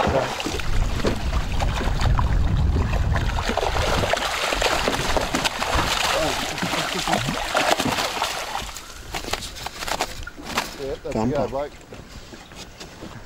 Flash go? Yeah. Okay, try that again. That looks good. Another one. And finish lower. Salmon, in, Jeff. For your rates. Oh, flash, flash. Oh, look at that. oh. Mongrel. Hey. Okay, I'll then net him. Quick. Oh, wow. I got him. Green? Just. He's late. Ah, You still got him? maybe just.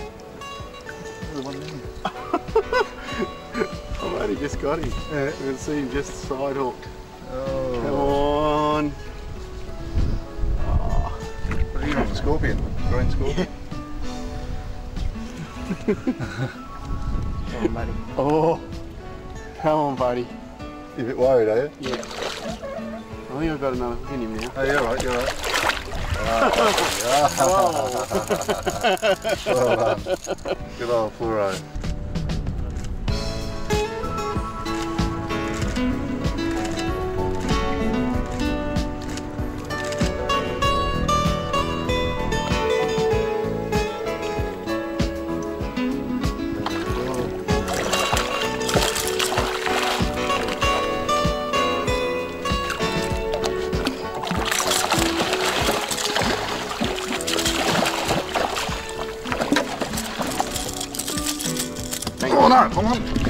Bit barra too, it's a nice one. Here we go. It's coming up. Go. Not a bad fish. Is it? I can't see it. Barra. Sort of the back of him. Oh yeah. Yeah.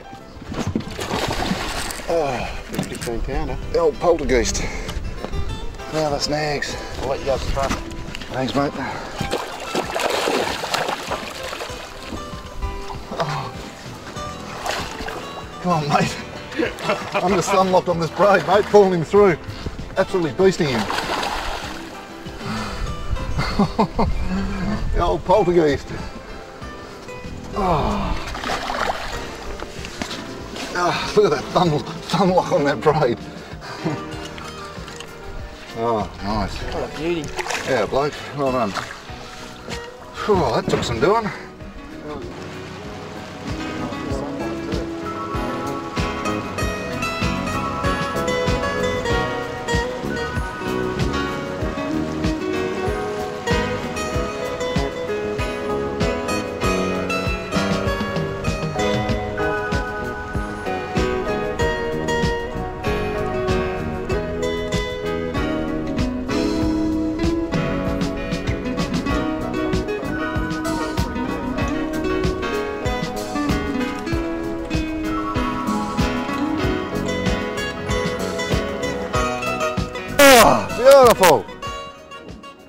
Beautiful big barra. Right off that rock out there, Kerry, where, where it's submerged. Ah, beautiful. Looks 20 plus pound, Kerry. Yeah, oh, he's going for those rocks. Come out. Oh, how close was that?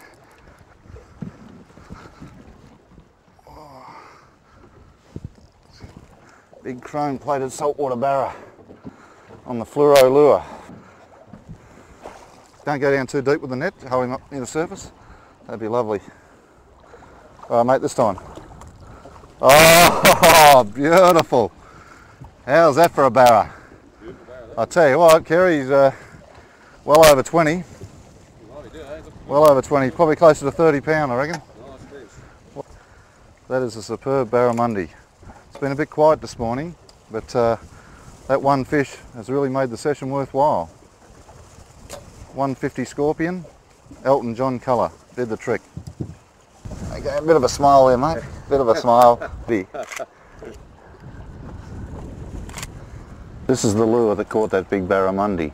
It's a 125 scorpion, or 5 inches in the old language, and it's called an Elton John because of its multicoloured uh, look. It's only a 1 metre bib. These lures come in a variety of size bibs, 3 metres, 4, 5, and they are interchangeable. They're polycarbonate, which means that they don't have any glue.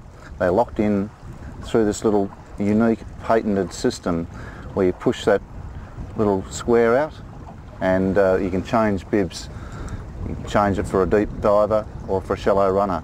Here behind me is where this barra came from.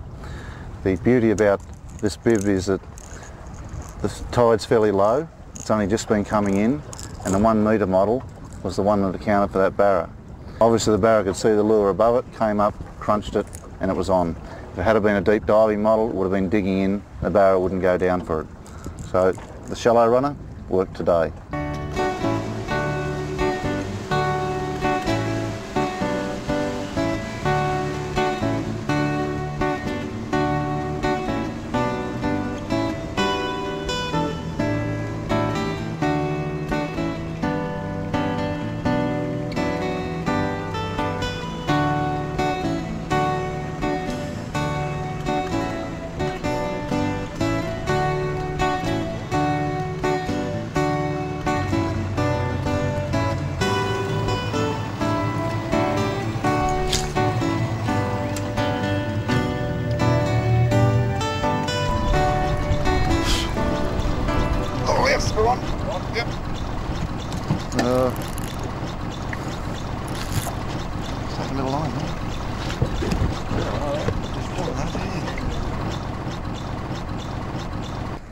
Braid's deceiving. Oh, don't tell me.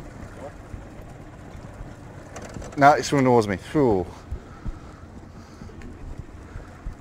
Yeah, you can turn him off if you like, man. Yeah, I'm not sure what this is. It might be another trevally. Oh, no, it's a queenfish. Oh, it's queenies, yeah. How's that? In this soup. These are a great fish. They're clean fighters. I've got no worries at all about him doing me up on the rocks. They're ultimate sport fish, these things. Take all sorts of lures, flies, baits, absolutely anything. Oh, he's hooked under there. That's why he's not jumping too much. Well done. Beautiful. Hey! nice ready. You got some real sharp spines on them. You got to take care. Glenn's going to take a lot of care now as he unhooks him. Hopefully, Glenn. The old queenies really hook themselves solid. They seem to get every single treble in uh, embedded in the fish. They're incredible like that.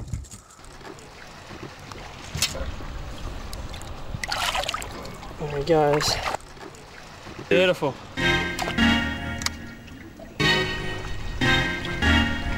Gary, you're on. He's on. Yeah, no, Uh, what is it, bloody?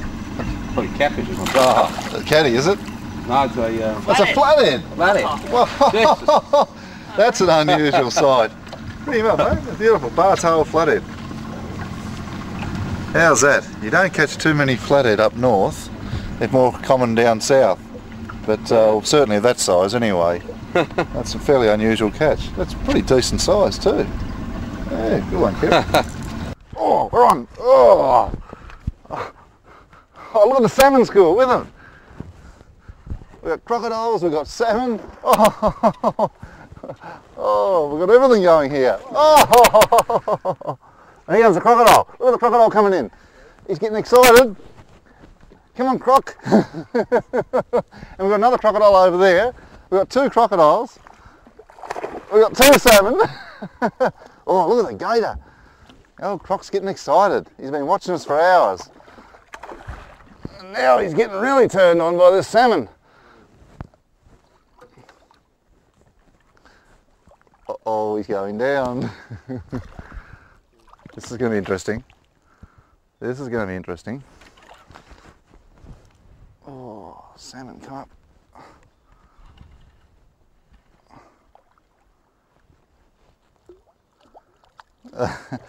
hey Glenn, how do you feel like uh, netting him before the croc gets him?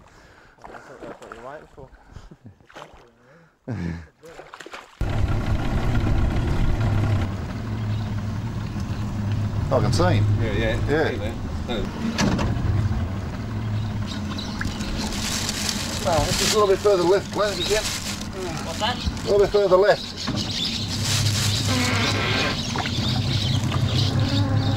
Ah.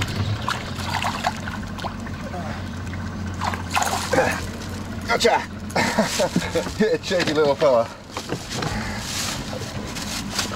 Well, nice little mango uh, jack on the three metre scorpion, 125. Might just unhook him and let him go. Get those pliers there, Glenn? Yeah. Oh, mate. Yeah, stop.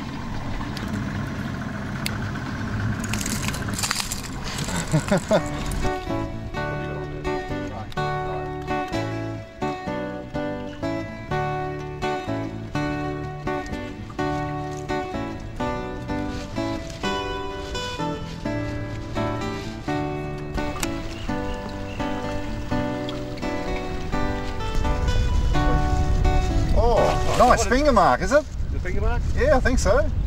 Oh, nice finger mark, mate. Beautiful. Oh, is Oh, he's a beauty. He's a beauty. Oh, that's a big jack. Big jack. big jack, yeah. Yeah, big jack. Good one. Oh, lovely. I'll hold him on good for you, mate. Ah, Little Beautiful. Little laser pro. That's beauty. Laser Pro. How's that? There he is.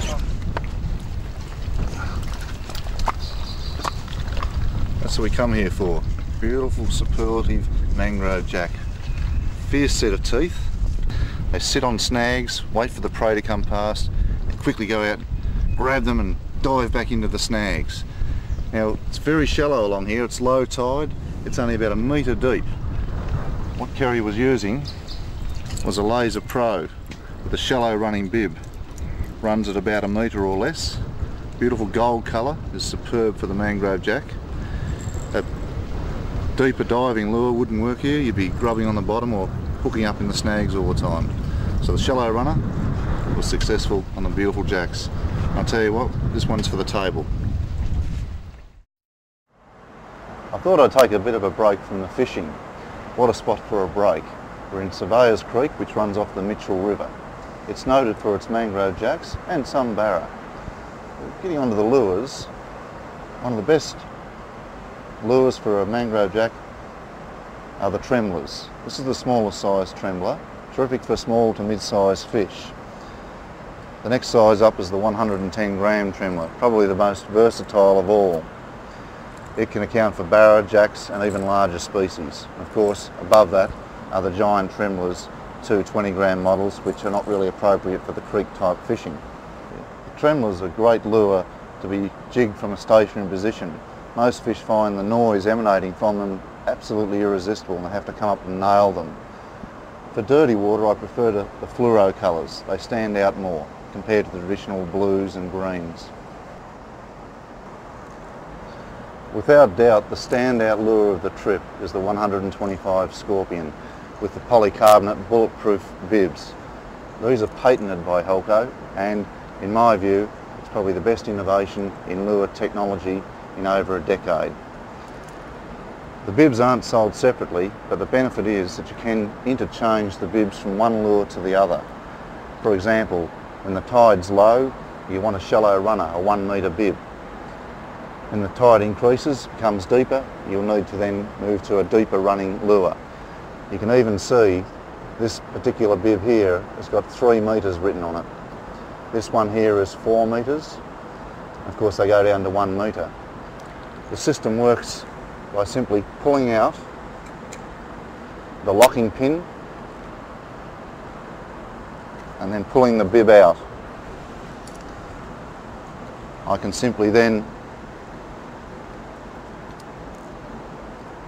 insert the deeper 4 metre bib, put the locking pin in and push it home to lock it in place.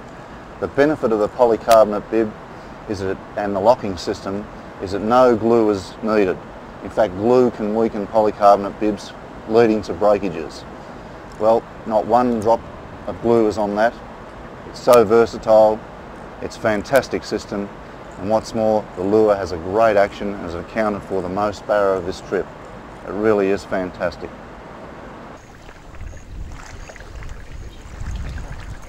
Oh yeah, a barra, I think. How's it, Kerry? You reckon it's a barra or not? I think it is. Oh, The way he's going. yeah, you get it well. Oh yeah. Is it a barra? No. I'm not sure, mate. I don't think it is. Oh no. Yeah, it yes, is, it is yeah, a barra. yeah, it is a barra. Oh, nice. Well done. Well done. Yep. Well done, Glenn. You go and net mate. That'd be good. Oh, very, Oh, very God. courteous fish. It just shows the importance of running depths in lures. Kerry, my fishing partner, was using a three metre bib model, but as the tide's dropped, it's around about low tide now, he swapped over to a one metre model. See how it's smaller? First cast, bang, barra. Fantastic. So it just shows the importance of the interchangeable bibs, running depths, and uh, the responses from the various fish.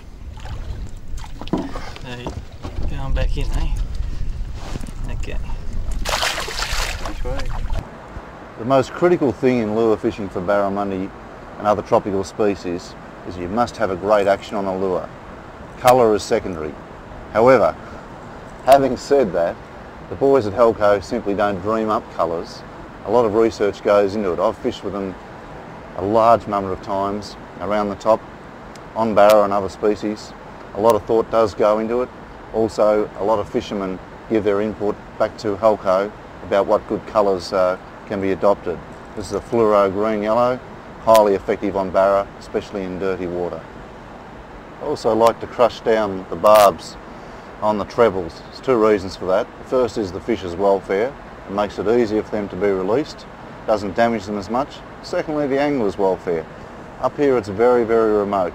If you end up with a treble in your face or arm, it can be difficult to extract. With the barbs crushed in, simple process, easy as anything. That's why we like to crush down the barbs. I've been using the Platypus Premium brand monofilament as well as the 30 pound braid and Harrow's Bionic braid 30 pound class. Without doubt the standout has been both of the braids. You may be able to pick up there how it's slightly furry along the braid. The reason for that is that that particular line has travelled through so many snags with barra attached to the other end, I've lost count of it. In this particular spot where we've been fishing, the mangroves are unusual. There's lateral limbs laying along the water and underneath the water and the barramundi have been lying in there. That's necessitating having to cast in tight to cover, hooking up the barra and they only know one spot to go. That's back into the snags and through the snags and out the other side. I have not lost one fish yet by being busted off on the braid. It's just been absolutely incredible. It obviously, uh, there's no barnacles on the limbs. If there was barnacles, fair enough, yeah, the braid would have some difficulty like any other line would. But where there's no barnacles, it's just been unbelievable. I've been able to go in there and retrieve line, pull it through sticks, through timber, everything, and come up with a barramundi. I'm absolutely converted. I'm wrapped in this line. I'll be using it for all time now. Don McPherson, or better known as Mr Platypus, has really got the formula right on making this braid. There's virtually no stretch or very, very minimal stretch compared to monofilament lines, which may stretch as much as 30%. This stretches from 0 to 3%, I'm told. But uh, the benefit has been when the fish go into the snags, you can just lock both thumbs down on the reel and beast them out. It gives you a great safeguard. The line doesn't stretch, there's no rubber band effect of the barra continuing to go into the snags. You can actually turn the fish. You can actually talk to them by using this line. I'm wrapped.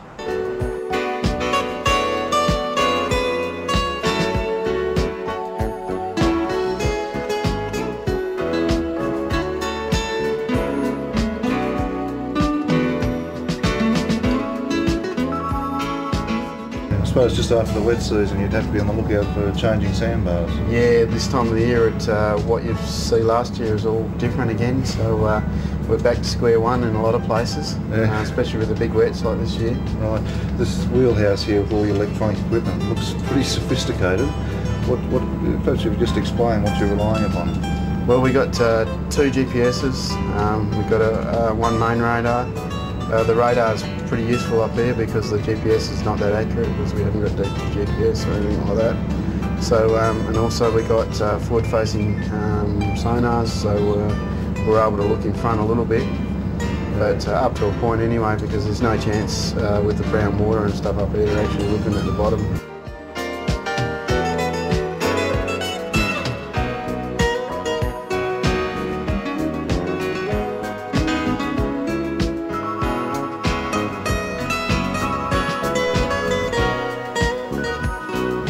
No matter where you travel in the Kimberley, you're never far away from some picturesque and magnificent scenery. And because of the rugged nature of the area, it offers a diverse range of fishing locations.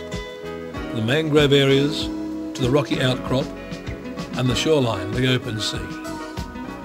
These locations, along with the variety of fish, offers the enthusiast and the holiday maker a great fishing adventure.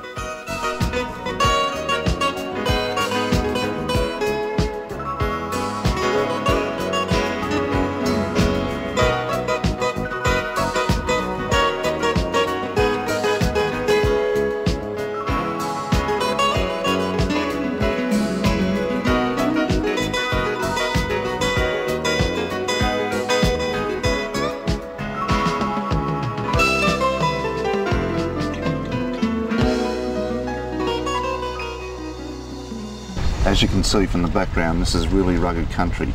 We're fishing for giant trevally in around two to three metres of water. I like to use the platypus 20 pound braid. It's got virtually no stretch at all.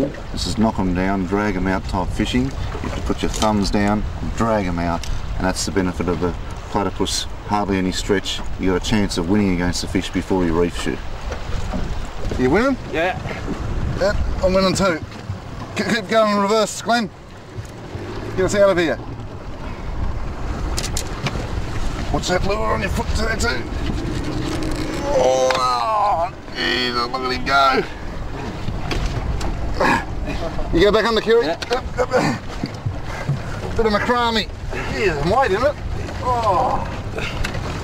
That's it, Glenn. Keep back on us out, mate. Away from those rocks. Beautiful. Just nice and steady. How you going, Kerry? Yeah, I You still in? got him, mate. I'm winning. Oh, I can see you double. There's my fella. These are right there. Oh, yep, they're GTs, all right. Yep, big GTs. Oh. Ah. These fish are so tough. Oh, this colour down there. Oh, off he goes again. Giant Trevally, also known as GTs, also known as Volkswagens. they are pound for pound one of the toughest in the ocean. Dirty fighters. D up on the bottom. Uh-oh. I think we're cross, Kerry. Yeah, Oh, come on. All right, yeah. I'll go on you.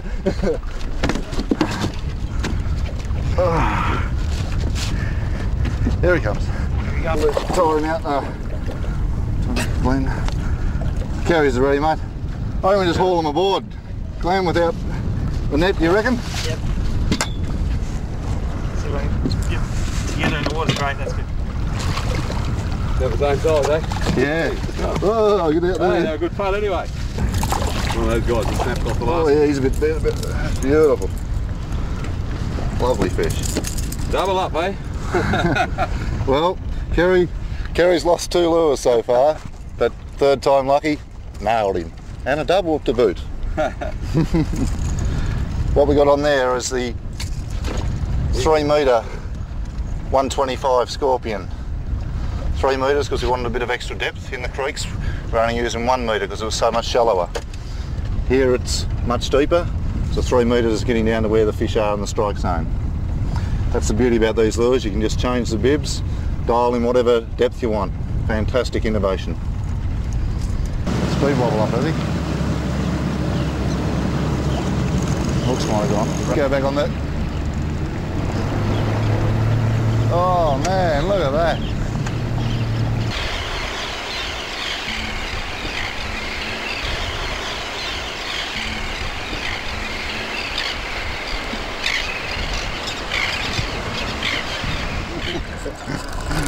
Feels like another big GT.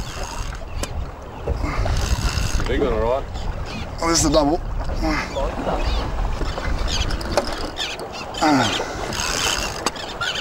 Oh man.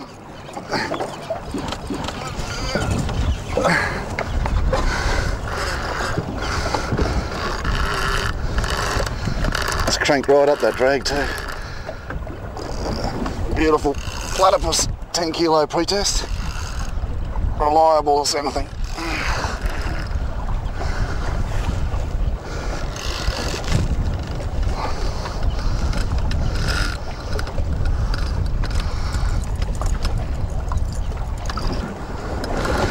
This is on a 190 Laser Pro.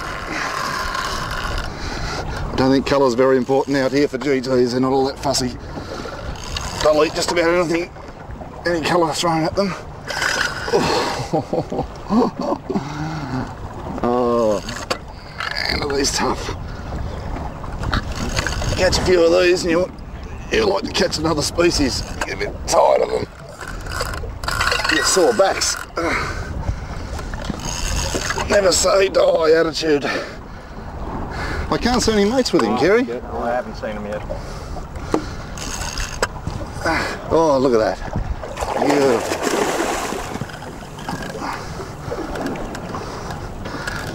Oh. Listen to the line singing. She's on maximum revs there. Oh, there's a mate now, look. Look, look, look, big one down there with it. 50 pound uh, Harrows braid on it.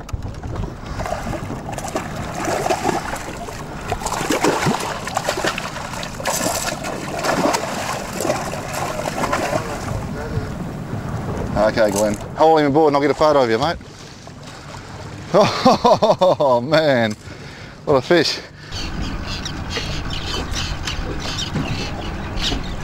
Beautiful.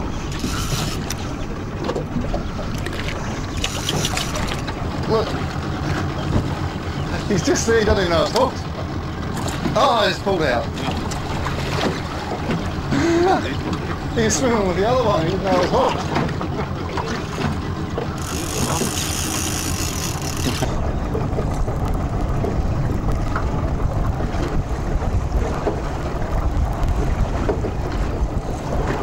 Right foot up, Kerry. So, yeah, he's hooked in the, look where he's hooked though. Yeah, back. oh, mate. That was good. Oh, he's pulled out.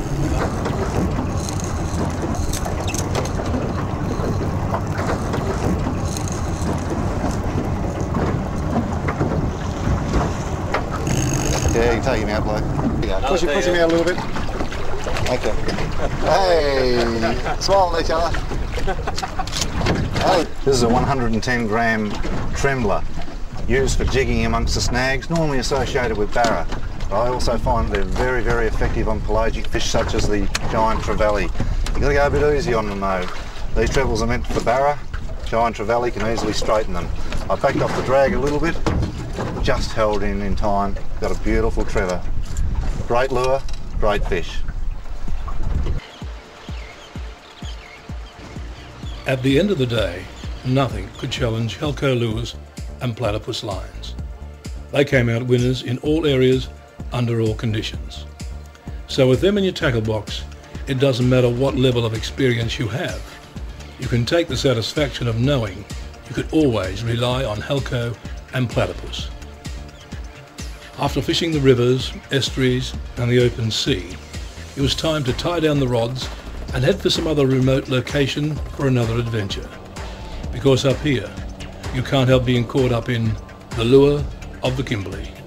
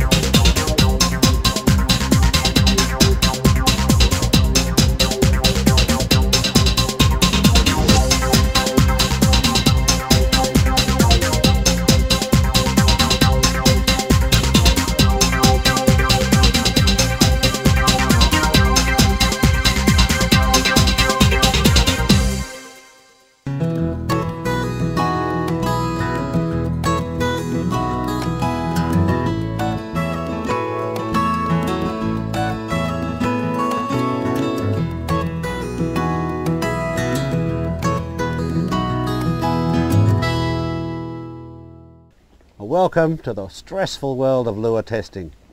We're here in the world-renowned Halco test facility off Fremantle and it looks like another tough day in the office.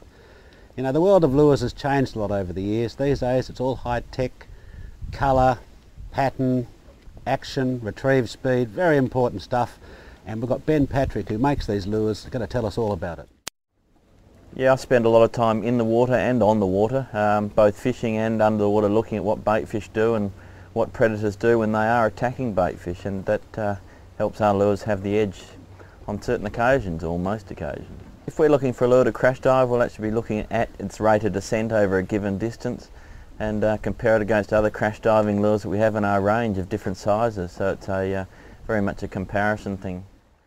Yeah, there's much theory about colours and we try and prove up the theories ourselves rather than just rely on hearsay. And um, some of the underwater footage you'll see, it's incredible how, how bold the reds are of the, the, the gills of the lures and uh, it's one of the reasons we find that we think it's so important.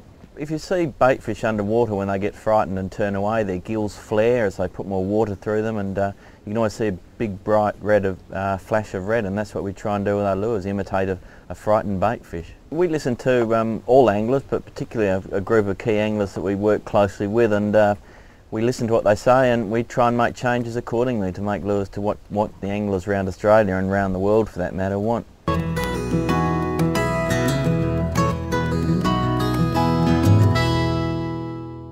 What we're going to look at here is the baby of the range.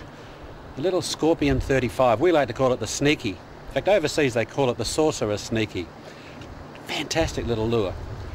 And what it does that's unique is when you stop winding in mid-water, it'll actually rise up very, very slowly. Very important for hanging around the areas where fish are. If they're down a metre or so, you can have it right there and keep it in the strike zone for longer. Little twitchy retrieve in close to cover, And Bob's your uncle.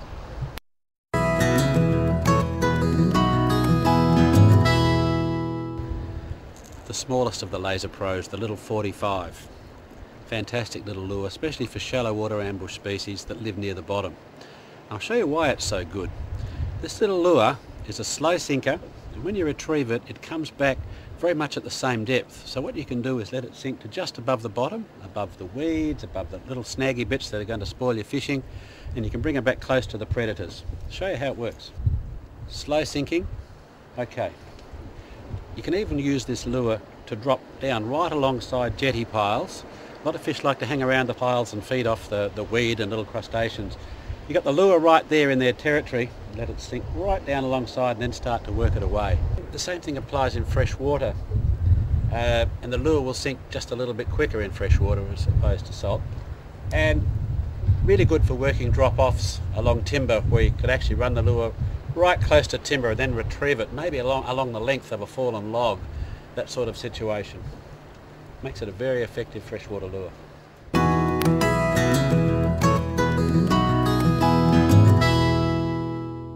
talk about versatile. Little twisty lure. This, these are the most versatile lures of the lot. Uh, available in sizes from one and a half gram to 70 gram and you can do anything with these things. They, from the moment you, they hit the water after you cast them, they start fluttering down, they get, they get taken by a lot of predators on the drop. You can fish them from any depth because they sink quickly obviously and one, one of the best ways to work them is to bring them back fast, rod tip high, so it's splashing across the top. Just looks like a little bait fish trying to flee a predator. And uh, a lot of the quicker predators, things like tuna, just can't resist them. This one's in 24 karat gold plate, also available in chrome, and uh, both finishes work great.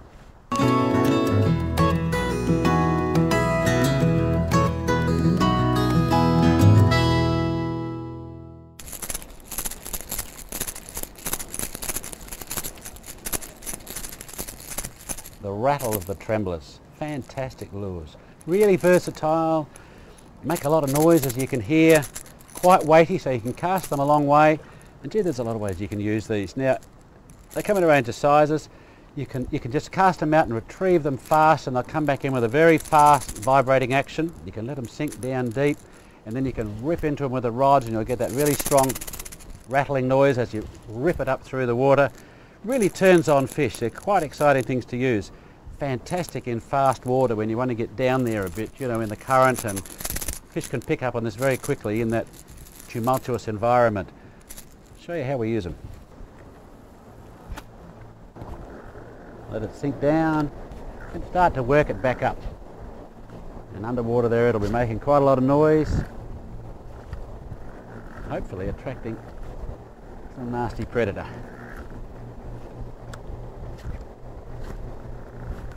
Course, you can always just cast it and then just retrieve it and it comes in with a really nice fast vibration.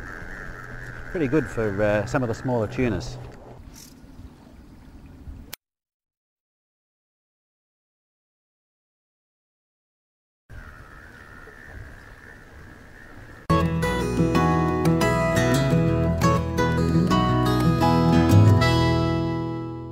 Okay, we're moving on to the big little lures.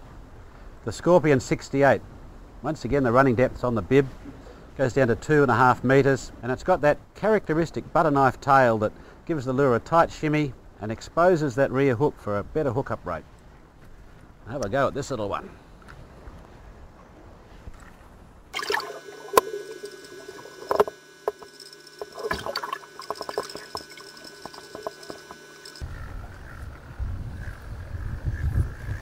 And that gill, have a look at that. Have a look at that gill again. That's that's fantastic because you can really see that red, and uh, that, that's got to attract predators.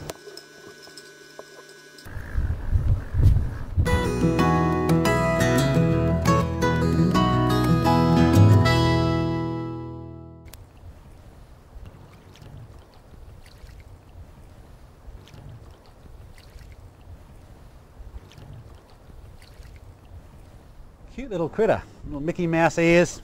Actually it's luminous. Shine a light on these and use them at night and they glow. Fun to use. It's called the Night Walker. And it's designed for fishing in calm water at night. You throw it out, retrieve it slowly and it's got a real scuttle across the top. Imitates uh, like a little mouse or water rat swimming across the top of the water. And, and there's, there's quite a lot of big predators all over the world that love coming up and eating that sort of thing. It's got some saltwater applications too, but generally the water needs to be calm. It's a real sort of surface scuttling lure and great fun to use because you can imagine on a calm, still night, one of these things scuttling quietly across the top and a big whoop from below. Great fun to fish with.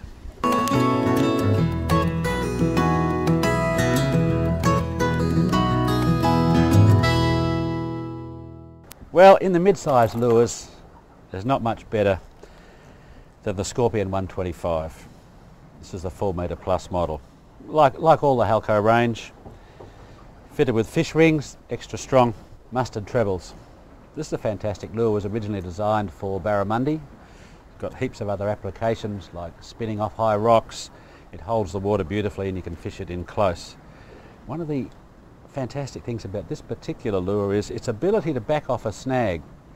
I'll try and show you how we do this, but what happens is when the lure's swimming along, along and it bumps into a snag, if you drop the rod tip, give it a bit of slack, the lure will back out of the snag.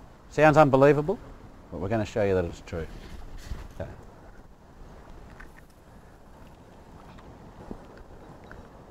So, I'm retrieving this in fairly snaggy country. I'm hoping to get snagged up. Yep, there we go. Just drop that rod tip. Give it a bit of slack, give the lure time to work out. You should be free. Yep.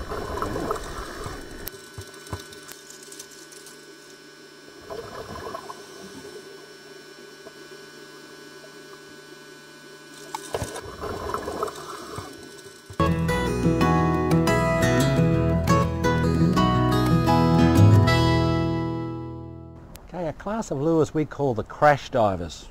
Exciting stuff. Poltergeist 80, little Tilsan bass. And both these are designed to really get down fast. As soon as you start to crank the rod, it's when it hits the water, down the lures go. So it's great because you can cast up against a rock wall or right hard up against a snag, a drop off, and the lure will go straight down to where the action is. Crash divers. See how we go with these. Cast out hard up against the obstacle. Start to wind and give the rod a bit of a whoop. And that lure goes straight down on a crash dive. Down there where the fish are and you're into the action.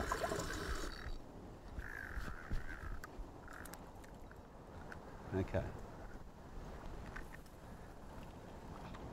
Cast out to the snag or the rock wall, turn the handle and start working and straight away that lure is going down really hard towards the bottom and you're going to get right down to where those fish that are hanging deep are just waiting for an easy feed.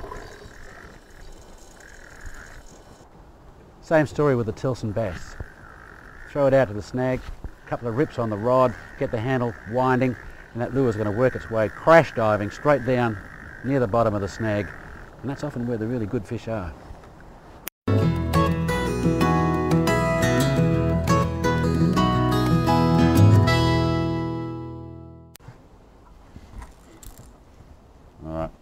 Really shouldn't, really shouldn't show you this because, and I don't like showing it to the fish because it is so effective. It's unbelievable. This is the Crazy Deep. It's a Scorpion 150 with this remarkable bib on the front that Halco rate this is going down 8 metres. I've actually snagged up in 9 metres of water with this thing and it, it's just incredible that such a small bib can get it down that far. It's particularly good in medium depth reefy country, say sort of 10 to 15 metre depths, where this lure is going to be trial when you're trialling it at four, four and a half knots, it's going to be down there right, right near the fish's homes, you know, for species like coral, trout, that sort of thing. Uh, you just can't beat them. Fantastic, wonderful trolling lure that will catch fish in situations that no other lures will. Uh, don't leave home without it.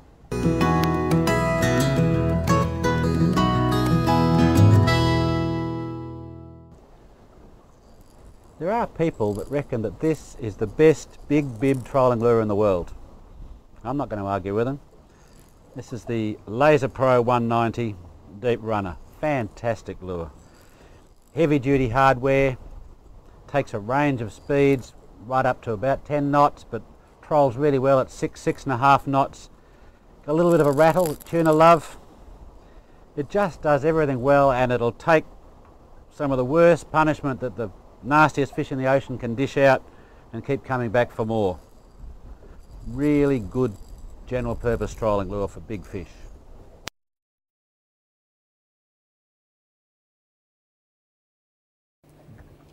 Have a look at that contrast, that red head really stands out.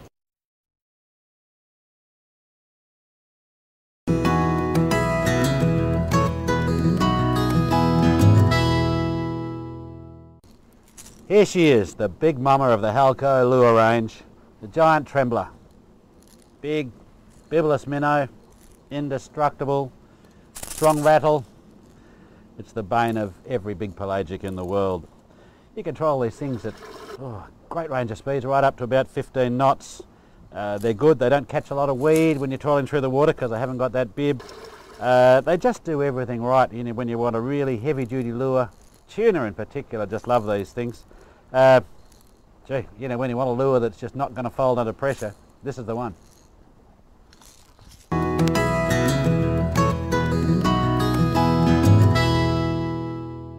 Okay, well, now we're going to look at a, a couple of lures that do the same thing but at different depths. Before we do, just a, a moment on bibs. You can pretty much tell at a glance how deep a lure is going to swim by just having a look at its bib. On these little laser pros, little short bib, shallow runner. Slightly longer bib goes a bit deeper. And in fact, with the, with the laser pros, the, the depth I'll swim to is actually written on the bib. And then you get something like this Tilsan Barra, big, shallow bib, deep runner. Now what we're going to do is just compare what happens when you really work a lure hard. We'll do it with the Tilsan Barra and one of the Laser Pro 120s. Okay, let's, let's start with this Tilsan Barra. Big bib, it's going to get down there quickly. And with this type of lure, the idea is you get it down there and you work it pretty hard. And this, it's going to repay you with a lot of action down deep. Really stirs up aggressive fish.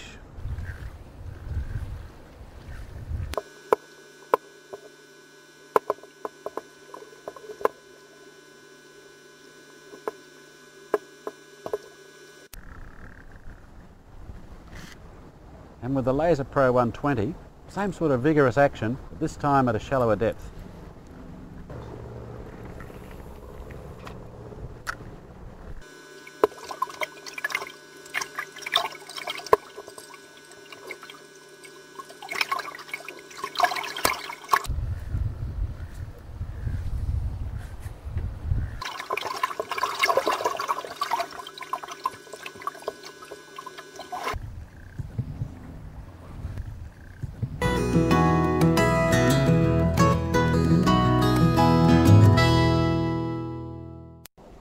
Catch Scent. What a great product. It masks all those nasty scents that put fish off biting, things like uh, sunscreen, petroleum products, cigarettes, whatever. It also contains attractant pheromones which will actually bring fish to your bait or to your lure. And those of you that must use bait, if you put this on while you're out in deep blue water, you know, mutton birds can be such a pain. They'll steal your bait sometimes to the point where you just can't keep bait in the water long enough to catch a fish. Squirt some of this on there. Brilliant green dye it contains. Puts the mutton birds off long enough for your bait to get out of their range. Then you start catching fish. But we're going to put it on a lure today.